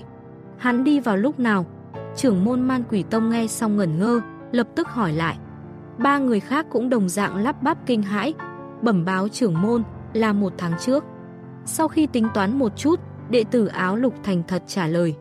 Tốt, ta đã biết, ngươi đi xuống trước đi. Thu lại vẻ kinh ngạc, trưởng môn man quỷ tông nói tiếp. Đệ tử áo lục nghe vậy thì thi lễ cung kính rút lui. Lôi sư đệ, các người, thấy việc này thế nào? Trưởng môn man quỷ tông đợi đệ tử kia rời đi mới quay đầu, nghiêm nghị hỏi đám người đằng sau. Công pháp liễu sư đệ thành công, bất kể thế nào thì đối với bản tông cũng là một tin tức tốt. Ánh mắt đại hán họ lôi lóe lên rồi chậm rãi trả lời. Hắc hắc, lôi sư đệ cần gì phải dùng mấy lời như thế lừa gạt ta, ngươi biết rõ điều ta muốn hỏi không phải là việc này mà. Trưởng môn man quỷ tông nghe vậy, cười hắc hắc một tiếng. Xem ra liễu sư đệ tu luyện nhanh như vậy, sư huynh có chút không quá yên tâm cũng đúng. Dù sao thì liễu sư đệ cũng vừa mới tiến giai linh sư không bao lâu, trong thời gian ngắn lại tu luyện công pháp tới cảnh giới như thế. Chỉ sợ khoảng cách tiến giai cảnh giới ngưng dịch trung kỳ cũng sẽ không quá xa. Sư huynh sợ liễu sư đệ phục dụng đan dược hoặc tu luyện bí thuật kích phát tiềm lực, sẽ lầm đường lạc lối trong quá trình tu luyện phải không? Lâm Thải Vũ cười nói, không sai, dù sao thì theo cách bình thường, liễu sư đệ cũng không thể tu luyện nhanh như vậy được. Hơn nữa ta thấy dị tượng liễu sư đệ thả ra có khí tức mạnh như thế, cũng không kém ngưng dịch hậu kỳ bao nhiêu. Thế nên ta mới lo hắn quá mức nóng lòng mà thôi. Trưởng môn man quỷ tông có chút lo lắng nói. Liễu sư đệ chỉ cần không luyện theo lối tà tu thì chuyên tu luyện tới cảnh giới ngưng dịch trung kỳ nhanh như vậy cũng là dựa vào bản lĩnh của hắn. Dù sao thì toàn bộ man quỷ tông chúng ta, linh sư ngưng dịch trung kỳ cũng chẳng có mấy người. Còn về tu luyện bí thuật ngoài tông môn hay ăn đan dược để kích phát tiềm lực thì cũng là lựa chọn của bản thân hắn, chúng ta cũng không thể can thiệp được. Đại hán họ lôi trầm mặc một lát rồi mới trả lời. Không sai. Mặc dù ta có chút giật mình về tốc độ tu luyện của liễu sư đệ, thế nhưng cũng chỉ có thể nói là cơ duyên của hắn không tệ mà thôi. Trưởng môn nếu không yên tâm thì nhắc nhở một chút là được. Còn về chuyện hắn có dùng thủ đoạn gì để kích phát tiềm lực hay không thì cũng không phải chuyện chúng ta có thể quan tâm được. Hắc hắc, nếu như lúc trẻ lão phu có biện pháp tu luyện nhanh như vậy thì cũng không bỏ qua đâu. Hoàng sư huynh cũng ngáp một cái nói, chư vị sư đệ nói cũng có đạo lý. Có lẽ chỉ là công pháp tu luyện của liễu sư đệ đạt tiểu thành mà thôi, muốn tiến giai cảnh giới trung kỳ còn cần một thời gian nữa. Thế nhưng nghĩ tới ngạn sư thúc coi trọng hắn như vậy, ta thực sự hy vọng hắn không nên nóng lòng cầu thành quá. Sắc mặt trưởng môn man quỷ tông biến hóa một lúc, mới chậm rãi gật đầu nói. Những người khác nghe vậy thì không có ý kiến gì nữa. Đúng, rồi, trưởng môn sư huynh, ngạn sư thúc có tin tức gì về kết quả tỉ thí tam chân lục tử chưa? Cao sư điệt có hy vọng tiến vào danh sách lục tử không? Đại hán họ lôi chợt nhớ tới một chuyện hỏi. Ta mới vừa nhận được tin tức ngạn sư thúc đưa về. Đã có kết quả tam chân, lãnh nguyệt sư thái cũng không trúng cử trong đó. Tam chân là thiên sát tử của Nguyên Ma Môn, Bạch Vấn Châu phía Hóa Nhất Tông và Hàn Xuân Thu bên Liệt Dương Cốc. Còn về lục tử, do người tham gia khá đông, quá trình tuyển chọn quá nghiêm khắc nên còn chưa có kết quả. Thế nhưng theo ý của ngạn sư thúc thì tỷ lệ cao trùng vào lục tử không lớn lắm. Chỉ có Trương Tú Nương của Thiên Nguyệt Tông có hy vọng mà thôi. Dù sao thì thể chất thông linh kiếm thể nếu so với tên đệ tử thiên linh mạch của Nguyên Ma Môn cũng sẽ không kém bao nhiêu. Trưởng môn Man Quỷ Tông nghe lời này, hơi nhướng mày, thở dài nói, thì ra là thế, thực sự là đáng tiếc. Nếu tuyển chọn lục tử không dùng tư chất mà dùng thực lực thì không chừng liễu sư đệ sẽ có cơ hội không nhỏ đâu. Đại hán họ lôi nghe vậy, có chút tiếc nuối nói. Nếu chuyện tuyển chọn đám lục tử này mà không giới hạn tư chất thì người đầu tiên ta đề cử chính là liễu sư đệ. Dù sao thì so với hắn, thực lực của cao trùng chưa bằng được, trưởng môn man quỷ tông tiếc nuối nói ra. Các bạn đang nghe chuyện Ma Thiên Ký của tác giả vong ngữ tại thư viện sách nói miễn phí, chuyện đọc việt.com Chương 326, Ngưng dịch trung kỳ Kỳ thật thực lực của Cao Trùng cũng không tính là yếu, chẳng qua so với nhân vật như Trương Tú Nương tất nhiên vẫn còn thua kém một chút. Đáng tiếc lúc này đây chư tông tuyển chọn lục tử, đối với thực lực mạnh như thế nào cũng không đánh giá quá cao. Chủ yếu là lấy tiềm lực tư chất làm điều kiện chủ yếu, tối thiểu phải có tỷ lệ tương đối tiến giai hóa tinh kỳ mới có thể xem như có giá trị để được bồi dưỡng. Giả như chúng ta lúc trước có đề cử liễu sư đệ, với tư chất của hắn thì trước sau cũng bị thượng tầng của Liên minh Vân Xuyên bỏ qua mà thôi. Hoàng sư huynh trầm ngâm thoáng một chút rồi liền lắc đầu nói. Trưởng môn sư huynh, ngươi cảm thấy liễu sư đệ thật không có khả năng tiến giai hóa tinh kỳ sao? Lâm Thải Vũ nhìn nhìn đỉnh núi cách đó không xa, bỗng nhiên hỏi lại một câu. Lâm sư muội, vậy ngươi cảm thấy thế nào? Man quỷ tông trưởng môn không có trực tiếp trả lời, phản hỏi một câu. Khanh khách, lời này coi như ta không nói qua đi. Nếu như biết dị tượng nơi đây là do việc tu luyện công pháp của liễu sư đệ dẫn đến thì tiểu muội cũng liền có thể giải thích nghi hoặc rồi. Mặc kệ liễu sư đệ cuối cùng, có thể đi đến một bước kia hay không, với thực lực kinh người của hắn chỉ cần có thể tiến giai ngưng dịch trung kỳ. Ta tin tưởng một gã ngưng dịch hậu kỳ bình thường, hơn phân nửa cũng không thể đánh bại được vị sư đệ này. Điều này đối với bổn tông mà nói, tự nhiên vẫn là một tin tức tốt. Tiểu muội cùng lôi sư huynh còn có một số việc cần thương lượng một chút, phải cáo từ một bước rồi. Lâm Thải Vũ khẽ cười một tiếng rồi cùng với đại hán họ lôi cáo từ rời đi. Trưởng môn man quỷ tông nhìn theo hai thân ảnh đi xa dần, lông mày lại có chút nhăn lại. Nhìn bộ dạng lâm sư muội và lôi sư huynh ngại ngùng như vậy, nói không chừng không bao lâu nữa, chúng ta có thể nghe được tin hỉ của hai người rồi. Hoàng sư huynh lại nở nụ cười. a quan hệ của hai người Hoàng Lâm sư muội cùng lôi hệ đã khôi phục như thường rồi sao? Trưởng môn man quỷ tông nghe vậy, thân sắc khẽ động mà hỏi. Tình hình cụ thể, ta cũng không rõ lắm. Bất quá hai người bọn hắn sau khi cùng nhau kề vai sát cánh trải qua trận chiến hải tộc, dường như đã sớm cởi bỏ khúc mắc năm đó rồi. Hoàng sư huynh rung đùi đắc ý nói, thì ra là thế. Năm đó lôi sư đệ cùng lâm sư muội giống như một đôi kim đồng ngọc nữ, chỉ là bởi vì một điểm nhỏ hiểu lầm, mới riêng phần mình độc thân đến bây giờ. Hôm nay nếu thật có thể gương vỡ lại lành cũng là một sự kiện thật đáng mừng. Trưởng môn của man quỷ tông vân vê tròm dâu, có chút giật mình nói. Lão giả áo đen cũng liên tục gật đầu xưng vâng. Hai người hàn huyên thêm vài câu nữa rồi cũng bay lên không, thoáng chốc đã rời khỏi nơi đây. Cùng một thời gian, Liễu Minh tại trong huyệt âm khí chi đem từ trên trời giáng xuống một cỗ hắc khí thu nhập thể nội rồi từ từ mở mắt ra, trên mặt tràn đầy biểu lộ đầy cảm xúc cuồng hỉ. Hắn đứng dậy, hai tay nhẹ nhàng nắm chặt, lại lập tức truyền ra hai tiếng không khí chính là làm nổ đùng thanh âm, lúc này toàn thân cốt cách đều truyền ra một hồi pháo giống như âm thanh giòn vang. Sau khi phục dụng đầu lâu huyết hổ ngâm chế trong linh dịch, hắn đã thình lình tu thành tầng thứ nhất của Long Hổ Minh Ngục Công. Liễu Minh giờ phút này tu vi cũng không phải là như man quỷ tông trưởng môn tưởng tượng là cách ngưng dịch trung kỳ còn cách một đoạn, mà là đang tu thành Long Hổ Minh Ngục Công tầng thứ nhất đồng thời, liền nước chảy thành sông giống như tiến cấp trung kỳ, hơn nữa còn không hề đụng phải bình cảnh mà các linh sư khác đã đề cập tới. Điều này làm cho hắn có chút ngoài ý muốn, lại có chút ít giật mình. Long Hổ Minh Ngục Công không hổ là công pháp dòng chính Thái Thanh tại Đại Lục Trung Thiên, vậy mà có thể cho hắn không để ý đến tu luyện bình cảnh, đơn giản cẫn có thể liền tiến cấp tới trong thời hạn cảnh giới như vậy.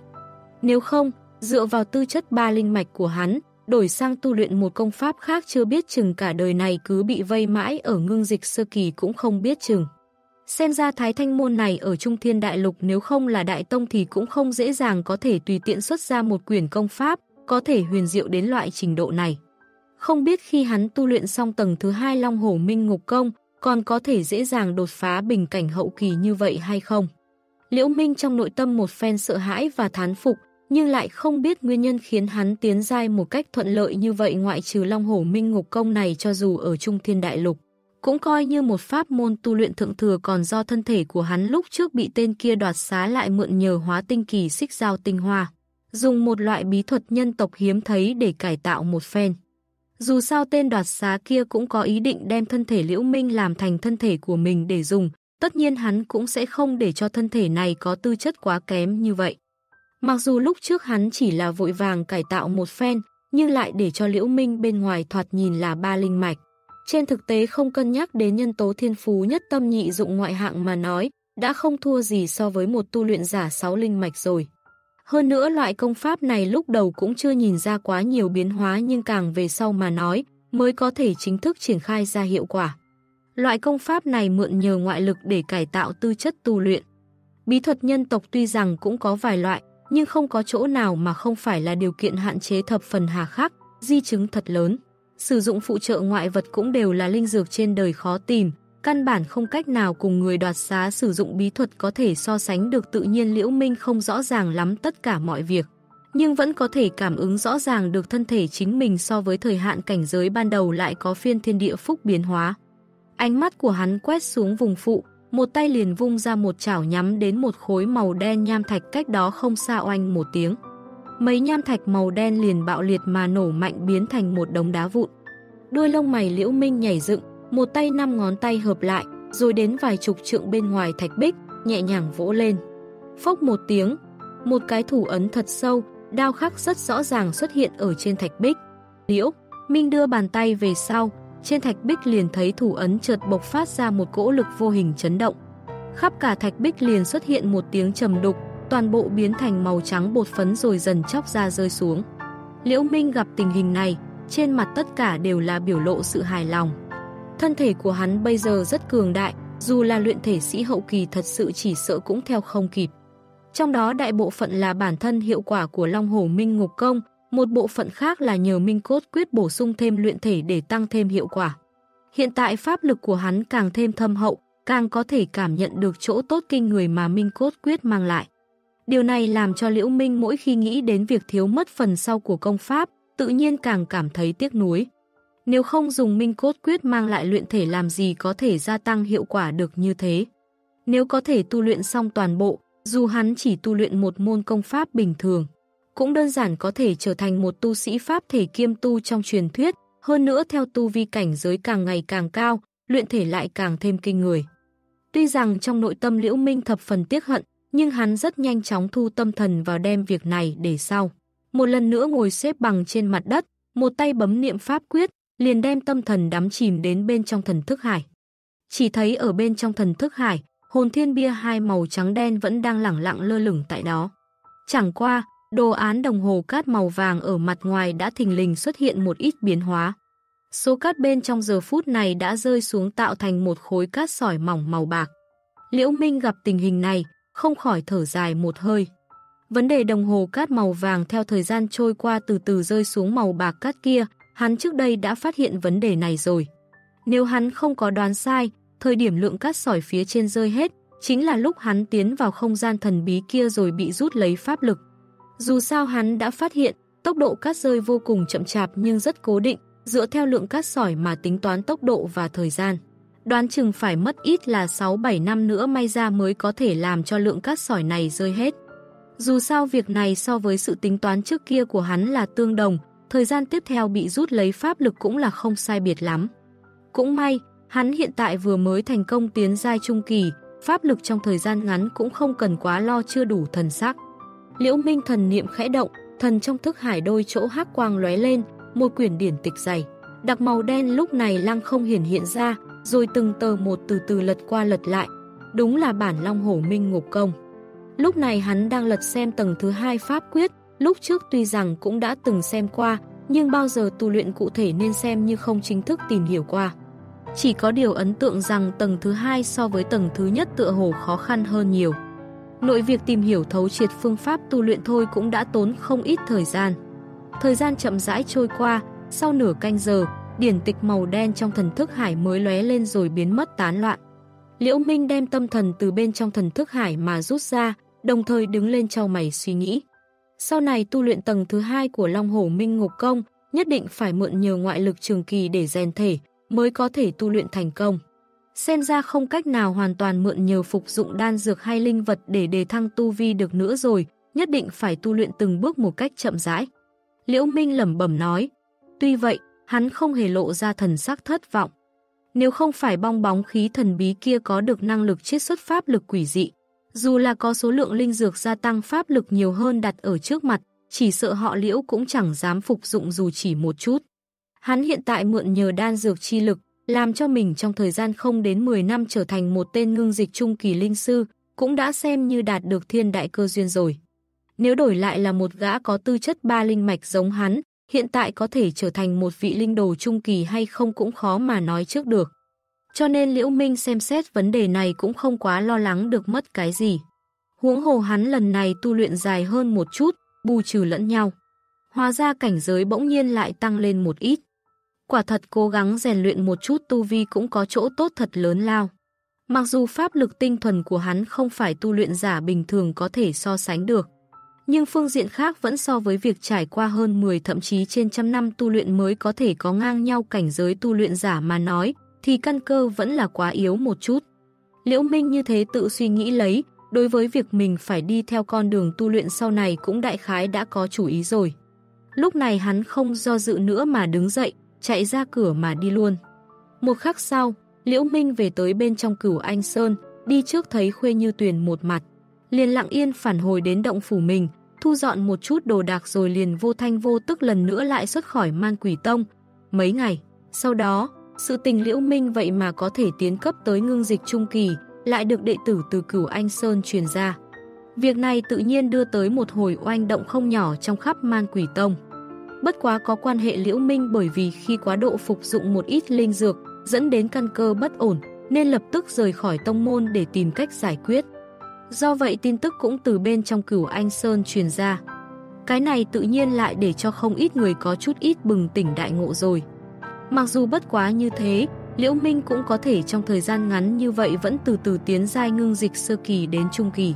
Nhưng như vậy lại dễ đưa tới không ít sự hứng thú của các linh sư khác trong tông. Nếu không phải Liễu Minh sớm đã đi ra tông môn, chỉ sợ rằng không ít người sẽ đến thăm và tìm hiểu tin tức có liên quan đến hắn một phen. Các bạn đang nghe chuyện Ma Thiên Ký của tác giả vong ngữ tại thư viện sách nói miễn phí, chuyện đọc việt.com Chương 327, Phường Thị Khâm Châu Hơn một tháng sau, trong một hạp cốc khổng lồ nằm trên một giải đất trong đại lục Vân Xuyên thuộc nước Đại Huyền, cảnh trí Thái Bình, dòng người di chuyển hối hả. Giờ phút này, một thanh niên khuôn mặt bình thường mặc áo bào xám đang dạo bước trên một con đường bằng đá trong cốc, vừa đi vừa quan sát cửa hàng hai bên đường. Người này chính là Liễu Minh vừa rời khỏi Man Quỷ Tông. Sau khi nghe nói về phường Thị Khâm Châu từ chỗ Khuê Như Tuyền, Liễu Minh liền rời đi tông môn, đi một mạch về nơi đây. Lại nói tiếp, với tư cách một trong ba đại phường thị do chư tông đại huyền cùng lập ra, thế nên so với phường thị Vệ Châu, phường thị Khâm Châu cũng rất có danh tiếng trong đại lục Vân Xuyên này.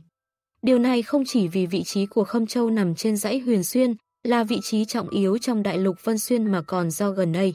Áp lực của hải tộc đè nén xuống làm cho các tông môn nhân tộc Vân Xuyên đành phải đoàn kết lại, cùng chung mối thù, thiết lập liên minh Vân Xuyên, quan hệ của các tông môn cũng không đối địch như trước. Thế nên phường thị Khâm Châu này thường xuất hiện nhiều tu sĩ tới đây giao dịch vật phẩm, làm cho phường thị này xuất hiện nhiều thứ mà nước Đại Huyền không có, dẫn tới rất nhiều tán tu và gia tộc nghe danh mà đến, làm cho nơi đây luôn luôn cực kỳ náo nhiệt. Mọi thứ tại bên trong phường thị Khâm Châu rất đa dạng, nhà cửa có nhà lầu, có phòng nhỏ, cao thấp không đều nhau, khách sạn quán rượu cũng đầy đủ cả. Tuy nói là do năm phái đại huyền thiết lập, thế nhưng do nơi đây gần cửu khiếu tông nhất nên trong phường thị gần một nửa là do đệ tử cửu khiếu tông trông, coi, còn lại là do các gia tộc buôn bán và người được các tán tu thuê. Mấy ngày trước, sau khi hạ xuống gần đó, Liễu Minh cũng không lập tức tiến vào trong cốc mà thay một bộ trường bào màu xám. Cất hết những thứ có thể để người khác thấy thân phận linh sư man quỷ tông, thay đổi một thân phục trang bình thường xong mới tiến vào phường thị. Sau đó, Liễu Minh liền bán hết ra và mấy cái răng nanh ma mãng trong trấn yêu tháp của Nguyên Ma Tông cho mấy cửa hàng lớn, đổi được chừng 5-6 vạn linh thạch. Mặc dù, da ma mãng là tài liệu trên một đầu yêu thú ngưng dịch hậu kỳ, có thể luyện thành giáp mềm rất tốt. Thế nhưng nếu so với xích giao lân giáp mà Liễu Minh đã có thì lại còn lâu mới bằng được. Ngoài ra, do số lượng răng nanh ma mãng cũng không quá nhiều và Liễu Minh đã có vài món linh khí phẩm chất tốt, thế nên sau một lúc suy nghĩ thì hắn liền bán luôn tất cả số răng nanh. Dù như thế thì khi trưởng quầy mấy cửa hàng thấy số tài liệu mà Liễu Minh lấy ra, ánh mắt nóng bỏng kia cũng đủ để nói rõ mức độ chân quý rồi. Dù sao thì nhìn khắp Vân Xuyên Đại Lục, yêu thú ngưng dịch kỳ cũng không nhiều lắm, huống chi lại là yêu thú ngưng dịch hậu kỳ tiếp cận hóa tinh kỳ. Còn về con mắt của ma mãng kia thì hắn lại giao cho một luyện đan sư tu vi ngưng dịch kỳ rất có danh tiếng trong phường thị để cho y luyện giúp một viên đan dược cấp linh sư, gọi là ngũ hoa đan. Lúc còn ở Đô Thành Đại Huyền, trong thời gian học thuật luyện đan của phàm Bạch Tử, Liễu Minh đã từng thấy lão luyện qua đan này. Đan này là loại đan dược cấp trung, cần dùng mắt của yêu thú loại mãng xà làm nguyên liệu chính, phục dụng để thanh tâm sáng mắt. Trong sương mù có thể nhìn thêm vài trượng, cũng có chút tác dụng khi phá giải một số trận pháp và ảo cảnh.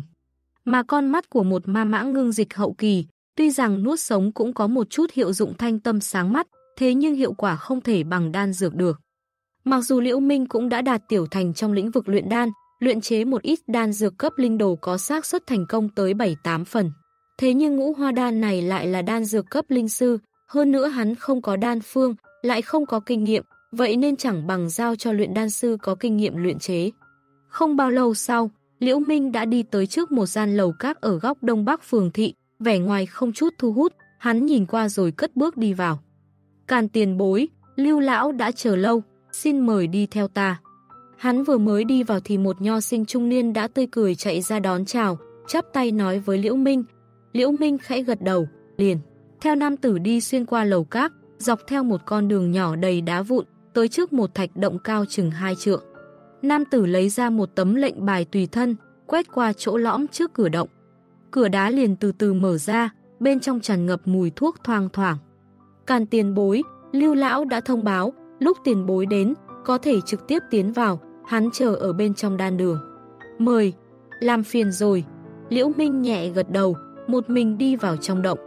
Sau khi đi qua một hành lang thì thấy một đại sảnh rộng chừng vài trượng, phía sau có thêm vài thông đạo khác, xem ra là các động thiên khác nhau.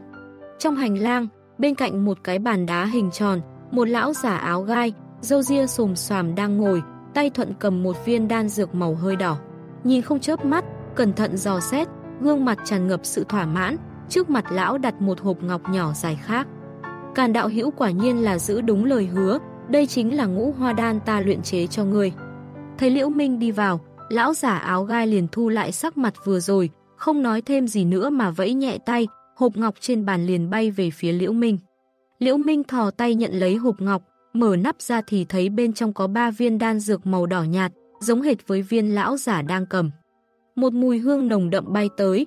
Đúng vậy, lần này làm phiền lưu lão rồi. Nhìn ngũ hoa đan, Liễu Minh cảm thấy cực kỳ mừng rỡ, quét mắt qua vật trong tay lão giả, mặt không đổi sắc thì lễ. Càn đạo hữu, phẩm chất của mắt mãng xà này đúng là hiếm thấy.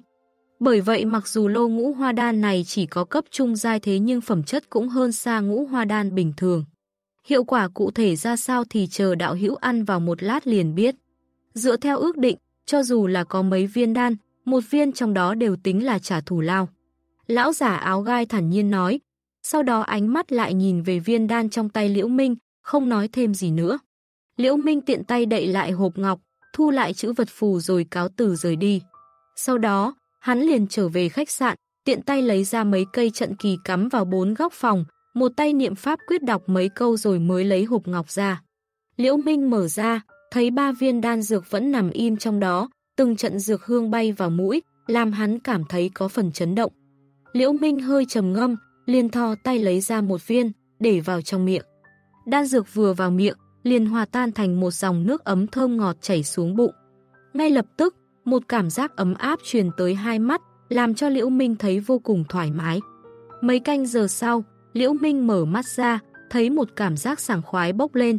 Hắn nhìn, bầu trời qua cửa sổ thì thấy mắt sáng hẳn lên, như nhìn xuyên qua mây mù. Sử dụng ngũ hoa đan do mãng xà ngưng dịch sơ kỳ bình thường luyện ra có thể thấy qua sương mù vài trượng, còn do mắt ma mãng ngưng dịch hậu kỳ luyện chế thì tác dụng phải lên tới tầm 30 trượng. Liễu Minh nhấp một ngụm trà, rất hài lòng với hiệu quả của ngũ hoa đan. Sau đó, Liễu Minh lấy ra một quả chữ vật phù, lướt qua hai khỏa ngũ hoa đan trong hộp ngọc một cái, một đạo bạch quang xuất hiện thu hộp ngọc lại. Tiếp đó, hắn lại lấy ra một cái túi lớn gần trượng. Mở miệng túi ra thì thấy nhiệt độ trong phòng hạ xuống, từng cỗ khí tức âm hàn tỏa ra, bên trong tràn ngập một dòng cát đen. Quả không hổ là phường thị lớn, tới xích âm xa cũng nhiều như vậy. Lại thêm mấy tài liệu kia, xem ra cũng đủ dùng trong nửa năm rồi. Liễu Minh nhìn qua cái túi chứa xích âm xa, trên mặt hiện lên nét vui mừng, sau đó thu lại cái túi, bắt đầu khoanh chân tĩnh tọa. Mấy ngày sau, lúc Liễu Minh ra khỏi cửu khiếu các, một cửa hàng của cửu khiếu tông thì trên người đã có thêm hai viên cầu màu nâu do khôi lỗi thú thiết viên biến thành. Nói đến hai đầu khôi lỗi này, thì cũng do lúc đầu Liễu Minh nhập cốc. Trong lúc vô tình đi qua cửu khiếu các thì biết được do phường thị này gần với cửu khiếu tông nên họ đã lập ra một cửa hàng, chuyên cung cấp các loại khôi lỗi thú đặt theo yêu cầu. Đương nhiên, phí tổn cũng cực kỳ xa xỉ, dù sao thì tại Vân Xuyên này, cũng chỉ có mình cửu khiếu tông có khả năng luyện chế khôi lỗi mà thôi. Nghe vậy, Liễu Minh liền động tâm, lập tức chi ra mấy ngàn linh thạch để yêu cầu tăng lực lượng cho hai khôi lỗi thiết viên, ước định nửa tháng sau tới lấy. Lúc trước trong thành đô Đại Huyền, Liễu Minh đã học qua một ít thuật điều khiển khôi lỗi cơ bản. Tuy rằng không sánh được với pháp môn của cửu khiếu tông, thế nhưng để điều khiển hai khôi lỗi này cũng là dư xài rồi. Sau khi làm thỏa đáng những chuyện này, Liễu Minh liền đi tới cửa cốc, hóa thành một đạo độn quang, đi ra phường thị Khâm Châu. Nửa tháng sau, tại một dãy núi hẻo lánh phía nam nước Đại Huyền, một chiếc phi chu màu xanh đang phi hành nhanh chóng. Trên phi chu, một thanh niên áo xám đang chắp tay sau lưng, thân sắc lạnh nhạt, đúng là Liễu Minh. Lúc này, phi chu dừng lại phía trên một ngọn núi, hai mắt Liễu Minh híp lại nhìn ra xung quanh. Nơi này khác xa năm tông Đại Huyền, thiên địa linh khí không thể so sánh được. Thế nhưng cũng may là người qua lại thưa thớt, không lo có ai quấy rầy. Huống hồ, công pháp tu luyện của Liễu Minh là Long Hổ Minh Ngục Công, rèn luyện thể trạng bằng ngoại lực, nhu cầu về nguyên khí cũng không nhiều lắm. Bởi vậy có lẽ cũng đủ. Nhìn trong chốc lát, Liễu Minh hài lòng gật đầu, lập tức biến thành một đạo độn quang, bay vào trong sơn mạch. Trong một sơn cốc nhỏ trong sơn mạch tràn ngập sương mù, Liễu Minh mở cửa động rồi tế ra kim nguyệt kiếm. Trong chốc lát, trong động liền xuất hiện một thạch đạo hẹp dài, nối thẳng xuống lòng núi. Các bạn đang nghe chuyện Ma Thiên Ký của tác giả Vong Ngữ tại Thư viện Sách Nói miễn phí, chuyện đọc việt.com Chương 328, Tuyển gia lục tử Tại một dãy sơn mạch ít người lui tới tại phương Nam Đại Huyền Quốc, quanh năm sương mù lượn lờ, linh khí mỏng manh. Trong một ngọn núi vô danh, tại một chỗ tầm thường trong sơn cốc, sương mù nơi này so với bên ngoài còn dày đặc hơn một chút. Sâu trong lòng núi có một thạch thất 7-8 trượng, hàn khí bức người, từng cỗ khí âm hàn bốc lên, làm cho nhiệt độ thạch thất có cảm giác lạnh hơn thực tế mấy phần. Trong lòng đất một cái đầu lâu mặt không biểu tình, nằm thẳng tắp trong đám cát. Mà bốn phía đều là cát mịn màu đỏ sẫm, từng hạt óng ánh, mỗi hạt dường như đều có khí màu đen lưu chuyển, khiến cho toàn bộ mặt cát thỉnh thoảng có ánh sáng lóe lên, làm cho thạch thất thêm vài phần quỷ di. Cát mịn không ngập đến phần cổ đầu lâu, chỉ thấy hai mắt nó nhắm nghiền, cũng theo đó chậm rãi tỏa ra từng đợt khí âm lãnh theo tiết tấu như hô hấp. Trong căn phòng âm hàn như thế, nhưng trên trán đầu lâu lại thấm ra từng giọt mồ hôi, lúc sau trên mặt lại biểu lộ vẻ dãy ruộng, dường như đang chịu đựng thống khổ tột cùng. Không biết qua bao nhiêu thời gian, hàn khí trong thạch thất vặn vẹo một hồi, sau một tiếng gầm nhẹ, một bóng người từ trong cát vèo một tiếng nhảy ra. Nửa thân trên bóng người trần trụi, do thời gian dài ngâm trong cát, bề mặt làn da cũng hiện lên một lớp màu đỏ sẫm. Bên ngoài thân hình có một chút hàn khí bốc lên, sau đó chỉ thấy hắn khoát tay, một đoàn thủy cầu từ không trung hạ xuống, rửa trôi toàn bộ số cát mịn trên người. Bốn canh giờ cuối cũng đã qua, lại có thể bắt đầu rồi. Liễu Minh ngửa mặt lên trời thở ra một hơi, hoạt động gân cốt một chút, chỉ nghe gân cốt quanh người phát ra một hồi âm thanh lột bộp. Nhìn vào hiện tại, so sánh với lúc nhập cốc, thân thể của hắn dường như khỏe lên không ít. Sau đó, chỉ thấy một tay hắn vung lên, tay kia bấm quyết, hai đạo quang cầu màu cam mơ hồ bay ra, âm thanh đùng đùng vang lên không dứt, hai đầu thiết viên khôi lỗi thú từ trên không trung hiện ra. Liễu Minh lại hất tay lên, hai khối tinh thạch màu vàng bay nhanh ra, chuẩn xác khảm vào ngực khôi lỗi thú. Giống, ầm, sau hai tiếng gào rú trầm thấp, hai mắt khôi lỗi thú lóe lên ánh sáng màu đỏ, bay lên không trung, liền một trái một phải hạ xuống trước người Liễu Minh, làm cát bụi bay lên mù mịt, viên hầu vẻ mặt dữ tợn, trong miệng lộ ra chi chít răng nanh. Liễu Minh cũng không chần chờ, một tay vỗ về dưỡng hồn đại bên hông, một đạo hắc khí hiện ra, cốt hạt toàn thân bao phủ lân phiến đỏ nhạt xuất hiện trước mặt. Cốt hạt thấy vậy kêu lên một tiếng tê tê quái dị sau đó không chờ Liễu Minh phân phó, liền lập tức nhảy vào giữa hai khôi lỗi thú, đầu rắn nhoáng lên một cái, bày ra bộ dáng công kích. Liễu Minh thấy thế, một tay bấm niệm pháp quyết, hắc khí cuồn cuộn bay ra, từ từ quay tròn không ngừng quanh thân hình, quanh thân có chút ngứa ngáy, hồng sắc lập lòe. Một lớp lân phiến đỏ nhạt cỡ hạt gạo hiện lên, dùng tốc độ cực nhanh, biến lớn chừng hai thốn. Hai tay Liễu Minh hướng về phía dưới nắm chặt, trong không khí truyền ra hai tiếng đùng đùng, một cỗ sương mù đen từ trong cơ thể thoát ra, bỗng nhiên một phân thành hai, hóa thành dao long cùng cự hổ màu đen. phảng phất hóa thành thực chất, theo đó một tiếng long ngâm cùng hổ khiếu phát ra, cả hai liền lập tức hiện ra trên thân thể Liễu Minh, luân phiên lưu chuyển trông rất sống động. Lập tức Liễu Minh dùng tâm thần cùng cốt hạt trao đổi một phen, đồng thời sử dụng thiên phú nhất tâm nhị dụng, vừa bấm niệm pháp quyết vừa ra lệnh cho thiết viên công kích. Chỉ thấy cốt hạt lập tức nhảy dựng lên kêu tê tê, đầu rắn sau lưng mơ hồ một hồi, liền hiện ra vô số bóng đen bạo liệt công kích về phía Liễu Minh. Cốt hạt sau khi trải qua thiên lôi kiếp, thực lực đã tăng đến ngưng dịch cảnh sơ kỳ. Cùng với kỳ ngộ khi độ kiếp và thôn phệ tài liệu trên người hóa tinh kỳ xích giao nên công kích kia vượt xa những gì thân thể tu sĩ ngưng dịch kỳ có thể thừa nhận.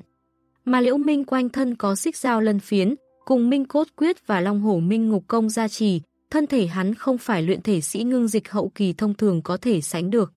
Bởi vậy đầu rắn của cốt hạt tuy rằng tốc độ đánh kinh người, không chung không ngừng nổ vang.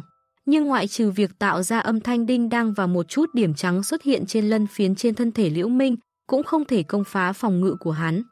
Cùng lúc đó, hai thiết viên khôi lỗi cũng không chịu thua kém móc ra kim cương thiết bổng to cỡ cổ tay dài hai trượng, không nhiều lời mãnh liệt đánh vào người hắn. Thỉnh thoảng gào to ô ô. Liễu Minh hai tay nắm lại, đứng lặng ở chính giữa, tiến hành tiếp nhận công kích của cốt hạt cùng khôi lỗi thú. Thỉnh thoảng phát ra tiếng kêu rên, bên ngoài thân thể hình ảnh long hổ màu đen lưu chuyển không ngớt, trên trán nổi lên gân xanh, từng trận mồ hôi to như hạt đậu không, ngừng toát ra, trên mặt hiện lên vẻ thống khổ. Mỗi ngày trừ lúc xếp bằng điều tức, Liễu Minh hết sử dụng nhiều loại linh dịch thấm vào cơ thể. Vùi thân trong xích âm xa hô hấp thổ nạp, rồi lại để cho cốt hạt cùng khôi lỗi thú đánh khắp thân thể một giờ. Làm dược lực có thể ngấm vào trong xương cốt gân mạch, lại làm cho âm khí không ngừng rèn luyện cơ thể, cứ như thế trong hơn nửa năm. Một ngày, hắn đã trải qua trọn vẹn 5 canh giờ dùng xích âm xa cùng cốt hạt, khôi lỗi thú rèn luyện thân thể. Đi tới một gian thạch thất, ngồi dưới đất bấm niệm pháp quyết, đem tâm thần chìm vào trong thức hải.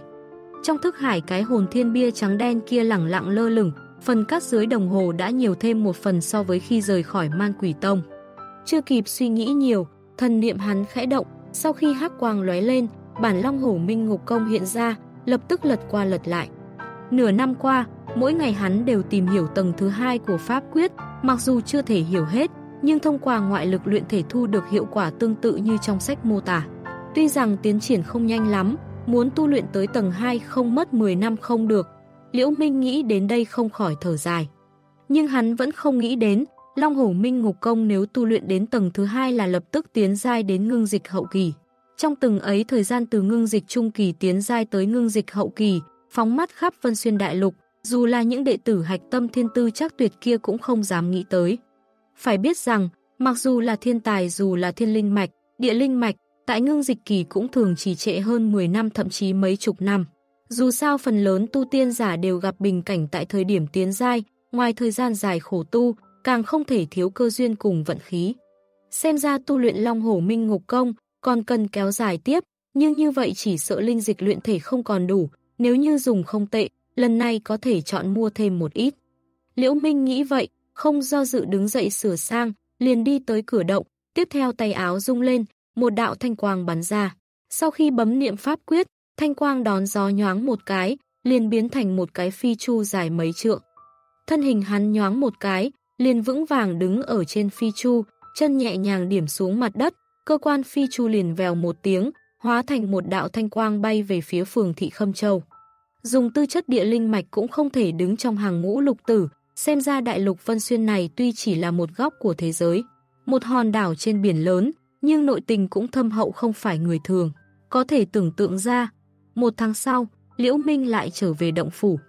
Trong hành trình tới phường thị, không những có thu nhập tương đối khá, mua được tài liệu đủ để tạo ra linh dịch đủ cho vài năm sử dụng. Đồng thời tại tiểu lâu trong phường thị cũng thu thập được chút tin tức về tam chân lục tử.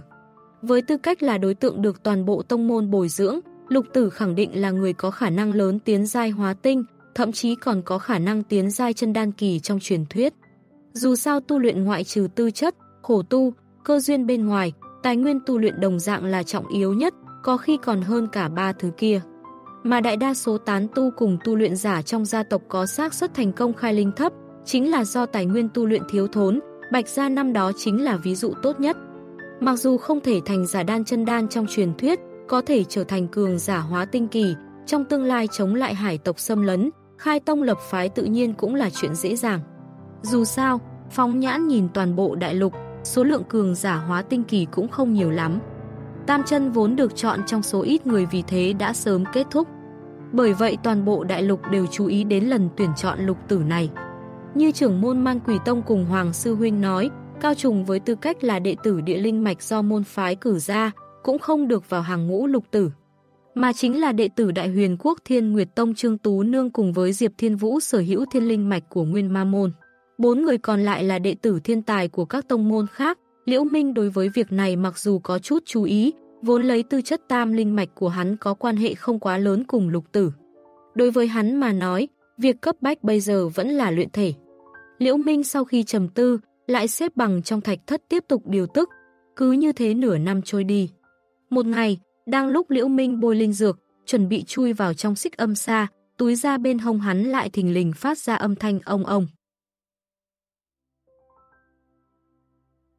Các bạn đang nghe chuyện Ma Thiên Ký của tác giả vong ngữ tại thư viện sách nói miễn phí, chuyện đọc việt.com Chương 329, Ma Đầu Biến Dị Khi tiến vào tầng 6 của trấn yêu tháp trong không gian bí cảnh, ma đầu phi lâu dưới cơ duyên xảo hợp đã thôn phệ cho tàn từ chân của cự ma vì vậy vẫn ngủ say tới giờ. Từ đó đến nay Liễu Minh đã từng thông qua lực lượng tinh thần liên lạc với phi lâu, nhưng vẫn không nhận được phản hồi. Cũng may hắn dùng thần thức quét qua túi ra, phát hiện ma đầu này chẳng qua là đang ngủ say, không có gì đáng lo, lúc này mới yên tâm. Lại, dù sao, tình huống như vậy phát sinh trên người cốt hạt cũng không phải mới chỉ một lần. Lúc này túi ra hắn không chút dấu hiệu phát ra tiếng ông ông, làm cho họ liễu thuật tiên cảm thấy kinh ngạc sau đó tỏ ra vô cùng mừng rỡ vì vậy hắn liền bất chấp đống linh dịch nhoe nhoét trên người, liền vỗ tay vào túi ra. Chỉ thấy một đoàn khí đen xông ra, quay tròn ngưng tụ trên không trung, nương theo vài tiếng cạc cạc quái dị quen thuộc, một cái đầu lâu nam nhân tóc xanh hiện ra. Đúng là ma đầu phi lâu ngủ say gần 2 năm qua. Chẳng qua thân thể của nó so với lúc trước đã nhiều lên một chút hắc khí. Mà khi phi lâu xuất hiện, Linh Hải Liễu Minh có chút chấn động. Cảm giác giống với khi hắn vừa vào Nguyên Ma Tông, đi qua cự ma sơn nghe đồn do đầu lâu của thượng cổ cự ma biến thành. Mặc dù ý nghĩ chỉ lóe lên tức thời, nhưng cũng làm cho hắn cả kinh. Đợi khi bình tĩnh lại, hắn dùng thần thức dò xét phi lâu một chút, cảm thấy vui vẻ. Phải biết rằng, năm đó trong sinh tử thí luyện thu phục ma đầu này, Liễu Minh thông qua liên hệ của thần niệm lực liền hiểu rõ ma đầu này vốn là tứ phẩm ma đầu đạt đến cảnh giới ngưng dịch sơ kỳ. Chẳng qua là đại chiến một trận rồi trọng thương nên mới bị tụt xuống linh đồ hậu kỳ. Đám khuê như tuyền có thể chậm rãi đem nó khôi phục lên ngưng dịch kỳ, sau đó phong ấn nó lại không thả ra trong một thời gian dài. Cho đến kỳ tông môn thi đấu trước vốn được ăn cả ngã về không. Để có thể vãn hồi địa vị cửu anh nhất mạch thông qua thâm hải hàn quang thiết chế tạo phục ma liệm sảng khoái ban cho đại sư huynh Thạch Xuyên. Liễu Minh lúc đó chưa tiến giai ngưng dịch kỳ, giao chiến với nó thấy nó khá được, huống hồ với tư vi lúc đó của hắn chưa cảm thấy gì không ổn. Đối với Liễu Minh bây giờ mà nói philo linh đồ hậu kỳ có chút không đủ dùng nhưng tiềm lực của nó lại khiến hắn vô cùng mong chờ. Khổ nỗi loại ma tinh giúp nó khôi phục lại cực kỳ khó tìm, tại nguyên ma môn đoạt được một túi nhỏ ma tinh cho nó thôn phệ, nhưng rõ ràng chính hắn cũng không nắm chắc đủ để nó khôi phục tu vi. Hiện tại phi lâu phát ra khí tức đúng là của tu vi ngưng dịch kỳ, mà cũng không đơn giản chỉ là sơ kỳ như ban đầu. Điều này có thể nói rõ thương thế của nó nhất định đã khỏi hẳn, đã trở thành tứ phẩm ma đầu chính thức, Chuyện này đương nhiên làm cho Liễu Minh vui mừng không thôi. Nhưng đúng lúc này, chợt nghe một hồi sấm chớp vang lên. Mặc dù Liễu Minh ở sâu trong lòng núi nhưng vẫn nghe được, chứng tỏ đây không đơn giản là sấm chớp thông thường. Liễu Minh không khỏi nhướng mày. Khi hắn ngẩng đầu, đã thấy, đôi mắt ma đầu kia đỏ rực lên mặt hiện lên một chút hoảng sợ rồi lập tức trở thành dữ tợn. Xem ra tạo hóa của ngươi đến rồi, chắc chắn là nhờ thôn phệ đống cho tàn của cự túc kia. Liễu Minh dùng tinh thần liên lạc với Phi Lâu, được nó phản hồi, liền khôi phục bình tĩnh. Từ lúc ở Man Quỷ Tông, Liễu Minh thông qua điển tịch biết rằng có một số loại yêu thú ma vật có thể tiến giai như nhân loại. Lại thêm tu luyện chính là chuyện nghịch thiên, cửu tử nhất sinh.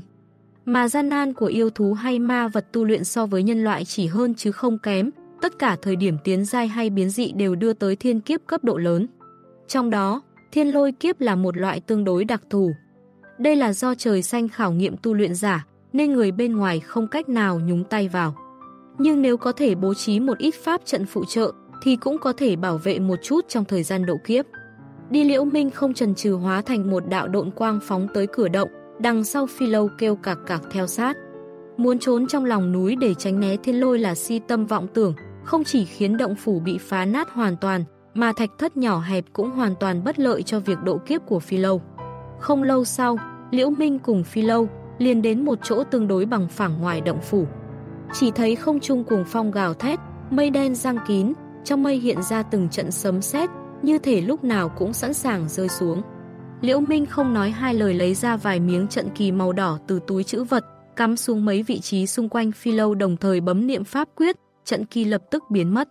Một tầng phù văn màu đỏ nhạt nhộn nhạo phát ra, hóa thành một màn sáng màu đỏ bao quanh phi lâu, màn sáng dưới nhiệt độ không khí bắt đầu có chút vặn vẹo.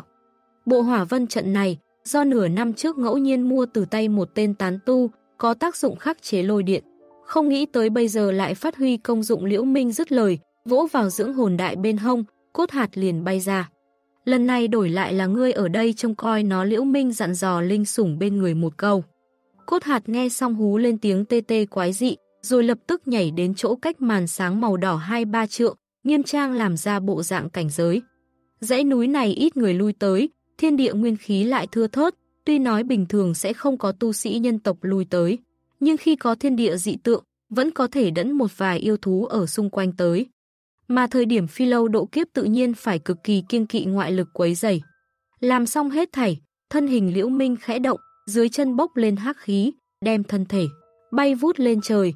Mây đen trên không trung tụ lại càng nhiều, một đạo lôi điện màu bạc hiện ra, mây đen bắt đầu quay cuồng, từng đạo lôi điện lần lượt đánh xuống.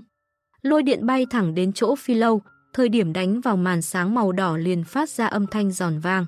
Phù văn trong màn sáng lưu động, bị lôi điện đánh vào ầm ầm vỡ vụn, liền hóa thành từng điểm ánh sáng màu đỏ biến mất trên không trung. Phi lâu điềm tĩnh ngẩng đầu, mở miệng phun ra lục quang cuốn lấy mấy đạo lôi điện đánh xuống vào trong miệng. Tiếp đó nó liền phát ra một hồi âm thanh cạc cạc kỳ quái như muốn khiêu khích đám kiếp vân trên trời. Trên không trung cách trung tâm kiếp vân 78 trượng Liễu Minh đứng chú ý vào tình hình bốn phía sơn mạch, nhìn bao quát tất cả mặt đất, không khỏi líu lưỡi một hồi. Trong chốc lát mây đen trong không trung lại quay cuồng, có điều thể tích lôi vân nhỏ hơn trước không ít. Sau một hồi nổ vang, liền thấy ba đạo lôi điện sắc nhọn đánh xuống. Phi lâu thấy thế cũng không dám coi thường, tóc xanh trên đầu hóa thành những từng tia mãnh liệt bắn ra, hóa thành một cái lưới chẳng chịt chính diện nghênh đón đợt lôi điện thứ hai. Lưới màu xanh lá cùng điện quang tiếp xúc liền đùng đùng mấy tiếng rồi hóa thành cho tàn, mà điện quang cũng bởi vì năng lượng hao hết mà tiêu tán. Phi lâu không chần chờ lại tiếp tục đem tóc còn thừa hóa thành lưới đón đỡ. Cứ như vậy sau khi ba đạo điện quang tiêu tán, tóc xanh trên đầu nó cũng không còn lại bao nhiêu. Không đợi phi lâu thở dốc, mây đen trong không trung lại nổ vang, qua mấy hơi thở liền nhập lại thành một đám lôi vân đen nhánh. Trong chốc lát theo tiếng sét phát ra, chỉ thấy một đạo ngân hồ to cỡ miệng bát điên cuồng đánh xuống phi lâu. Đạo ngân hồ này còn kèm theo một tia vàng kim nhàn nhạt, nhạt. Phi lâu vốn chấn định thấy vậy liền lộ ra một tia hoảng sợ, nhưng hỏa diễm trong mắt nó càng ngày càng rực lên, chỉ thấy hắc khí ngưng tụ, lập tức cuồn cuộn bay lên nghênh tiếp. Ngân hồ không do dự đánh vào phi lâu tạo thành âm thanh chấn động truyền ra hòa vào vô số ngân hồ kèm kim quang đánh vào phi lâu. Giao hội với hắc khí cuồn cuộn, khiến cho phi lâu càng tỏ ra dữ tợn, không ngừng kêu cạc cạc, gần như rên rỉ. Liễu Minh thấy thế liền lo lắng, nhưng thực sự lực bất tòng tâm, cốt hạt cách đó không xa cũng có chút đứng ngồi không yên. Đúng lúc này, một màn ngoài dự đoán của mọi người xảy ra. Phi lâu ở giữa đám hắc khí lẫn lộn với ngân hồ, vậy mà lại dần dần phát sinh biến hóa. Nhìn với tốc độ mắt thường cũng có thể thấy mọc ra hai cái đầu lâu màu trắng, liền phát triển bằng đầu trẻ con, mà hai bên đầu phi lâu lại mọc ra hai cây sừng cong, trang xóa, mà ngân hồ cùng hắc khí cũng xoáy vài vòng, chốc lát sau biến thành sáu đạo hỏa diễm chui vào chui vào mắt ba khối đầu lâu. Phi lâu rút cuộc đã tiến giai thành công, lúc này nó đã chính thức trở thành ngũ phẩm ma đầu, theo lý thuyết tương đương với tu sĩ ngưng dịch trung kỳ. Nhưng với tư cách sinh vật đã cắn nuốt bộ phận trên người thượng cổ cự ma phát sinh biến dị, thì thực lực chân thật của nó đã xem như tương đương cường giả ngưng dịch hậu kỳ. Phi lâu thức tỉnh lại liên tiếp tiến dai, làm cho Liễu Minh hưng phấn không thôi. Đồng thời cảm thấy nên để nó gia nhập vào quá trình rèn luyện thân thể của hắn. Minh đại ca, thật sự là người. Một ngày ba năm sau, bên ngoài sơn môn của Thiên Nguyệt Tông thuộc Đại Huyền Quốc, một gã thanh niên áo lục đứng trên cơ quan phi chi. Định hỏi thăm đệ tử canh cửa, nhưng còn chưa kịp mở miệng, một giọng nữ thanh thúy liền truyền tới. Ngươi là, là Như Bình. Chỉ thấy một thiếu nữ tú lệ tầm 17-18 tuổi mặc trang phục đệ tử nội môn Thiên Nguyệt Tông, đang lơ lửng cách đó không xa. Mặt mũi tràn đầy kinh hỉ nhìn hắn, rõ ràng là Càn Như Bình từ biệt hắn tại Đô Thành Đại Huyền mấy năm về trước. Nha đầu năm đó nay biến thành một tiểu mỹ nữ, khiến hắn thiếu chút nữa không nhận ra.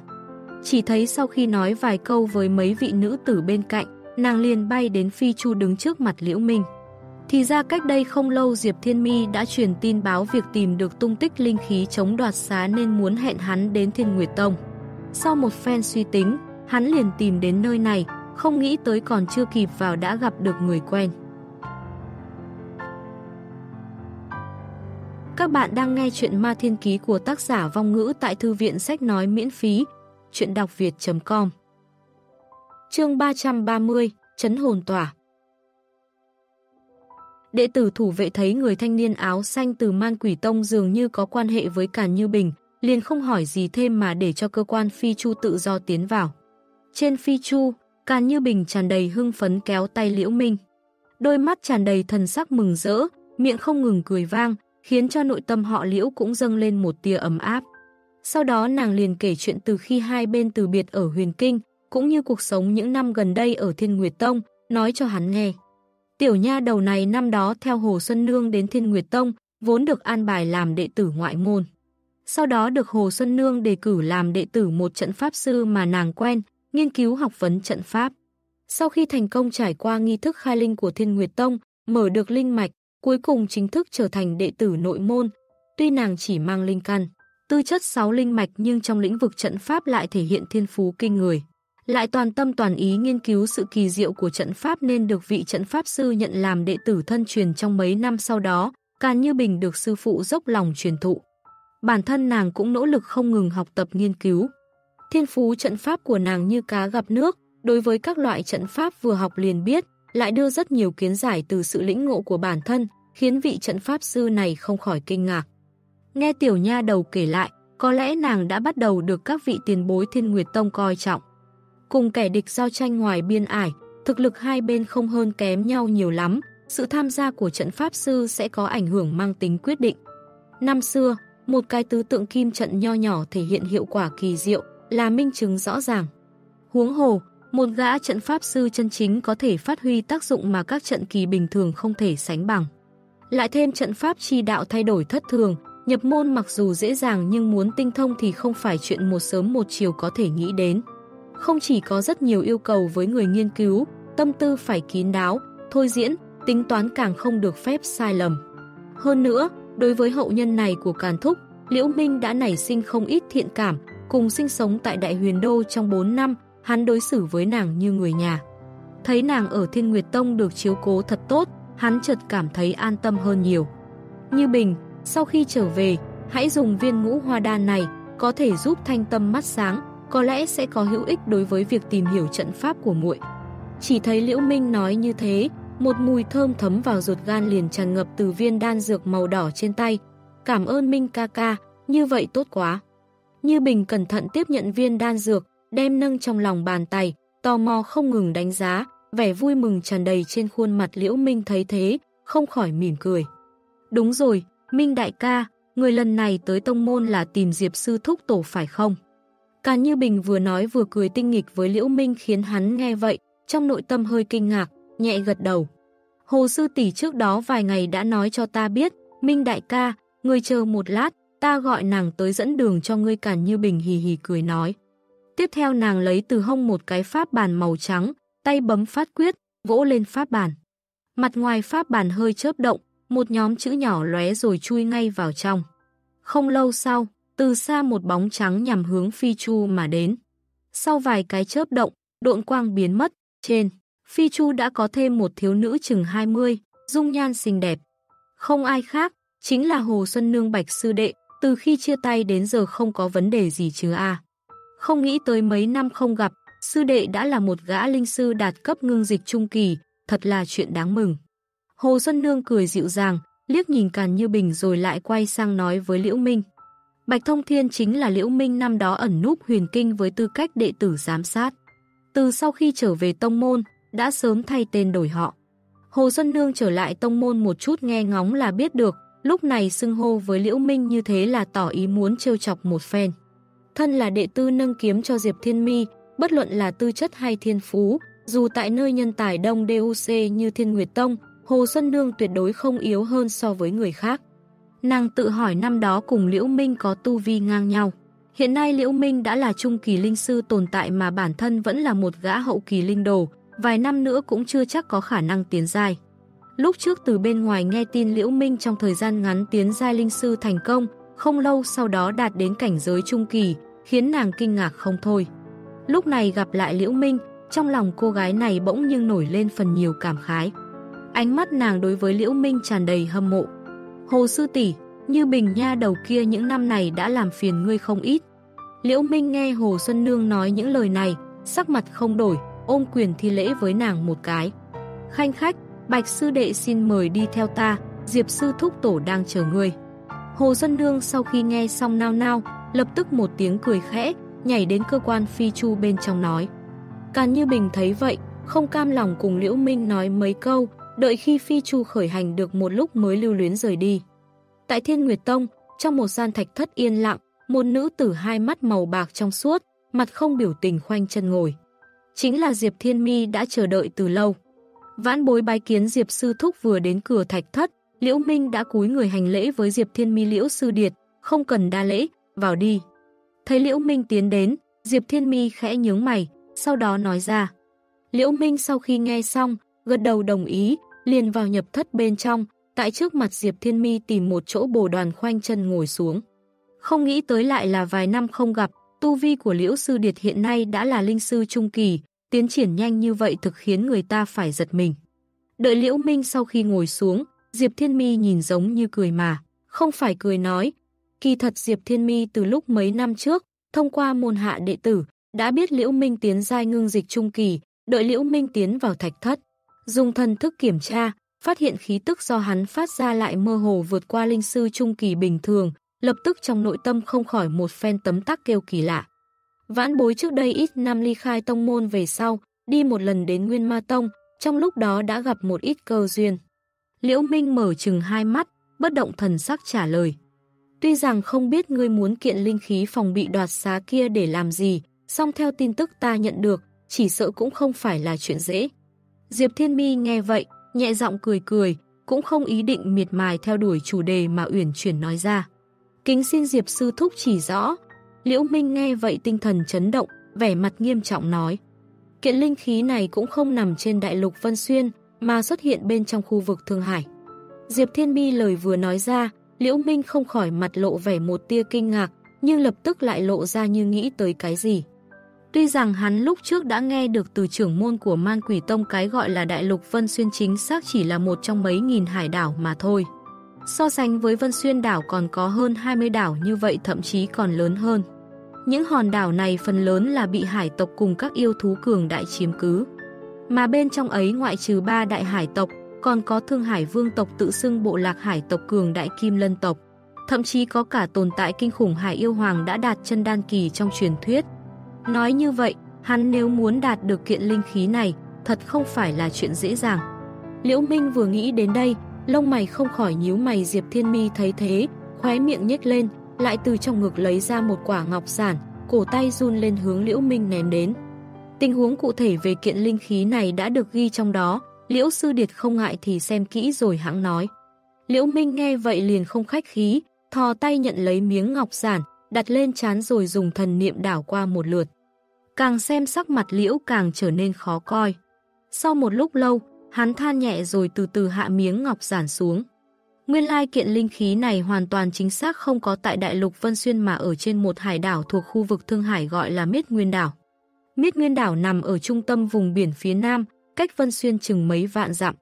Nhìn từ trên không, hòn đảo như cái mai rùa khổng lồ chiếm giữ trên biển, nên được đặt tên như vậy đảo này chỉ lớn chừng hơn 1 phần 3. Vân Xuyên đại lục nhưng trên miết nguyên đảo tài nguyên tu luyện cũng hết sức phong phú, các loại thiên tài địa bảo cũng vượt xa khả năng đại lục Vân Xuyên có thể so sánh. Hơn nữa hải đảo này còn do hải tộc, yêu tộc, nhân tộc cùng với một ít dị tộc khác chung sức chiếm cứ tạo thành tình thế hết sức hỗn loạn. Trên đảo có một kẻ tự xưng đạt đến tam đại luyện khí tông sư, một dị nhân tinh hỏa tộc tên là Viêm Quyết. Tinh hỏa tộc nhân am hiểu nhất là thuật khống chế hỏa diễm, trời sinh am hiểu đoán tạo. Trên hải đảo, các thế lực lớn mặc dù tranh đấu không ngừng nhưng đối với tinh hỏa tộc nhân lại là không dám mạo phạm. Dù sao vô luận là ai đắc tội một vị luyện khí đại sư, đều không có kết cục tốt đẹp. Mà kẻ tên viêm quyết này là một luyện khí tông sư nổi danh khắp hải đảo. Linh khí do hắn chế tạo đều mang cấm chế bất phàm, một khi xuất thế, lập tức được người bỏ giá cao thu lấy. Nghe nói vị này luyện khí đại sư gần nhất lại lần nữa luyện chế ra rồi vài món thật tốt linh khí, đang chuẩn bị chọn ngày công khai lấy ra đối ngoại đấu giá. Trong đó có một kiện trung phẩm linh khí tên là chấn hồn tỏa, càng hiếm thấy hơn lại là linh khí phòng ngự tinh thần. Nghe nói chẳng những sử dụng tài liệu hiếm có, bên trong còn ẩn chứa cấm chế đặc thù, chỉ cần tế luyện một chút. Mang theo bên người liền có thể ngăn cản tinh thần bí thuật ở mức độ nhất định, mấu chốt nhất còn có thể khắc chế quá trình đoạt xá.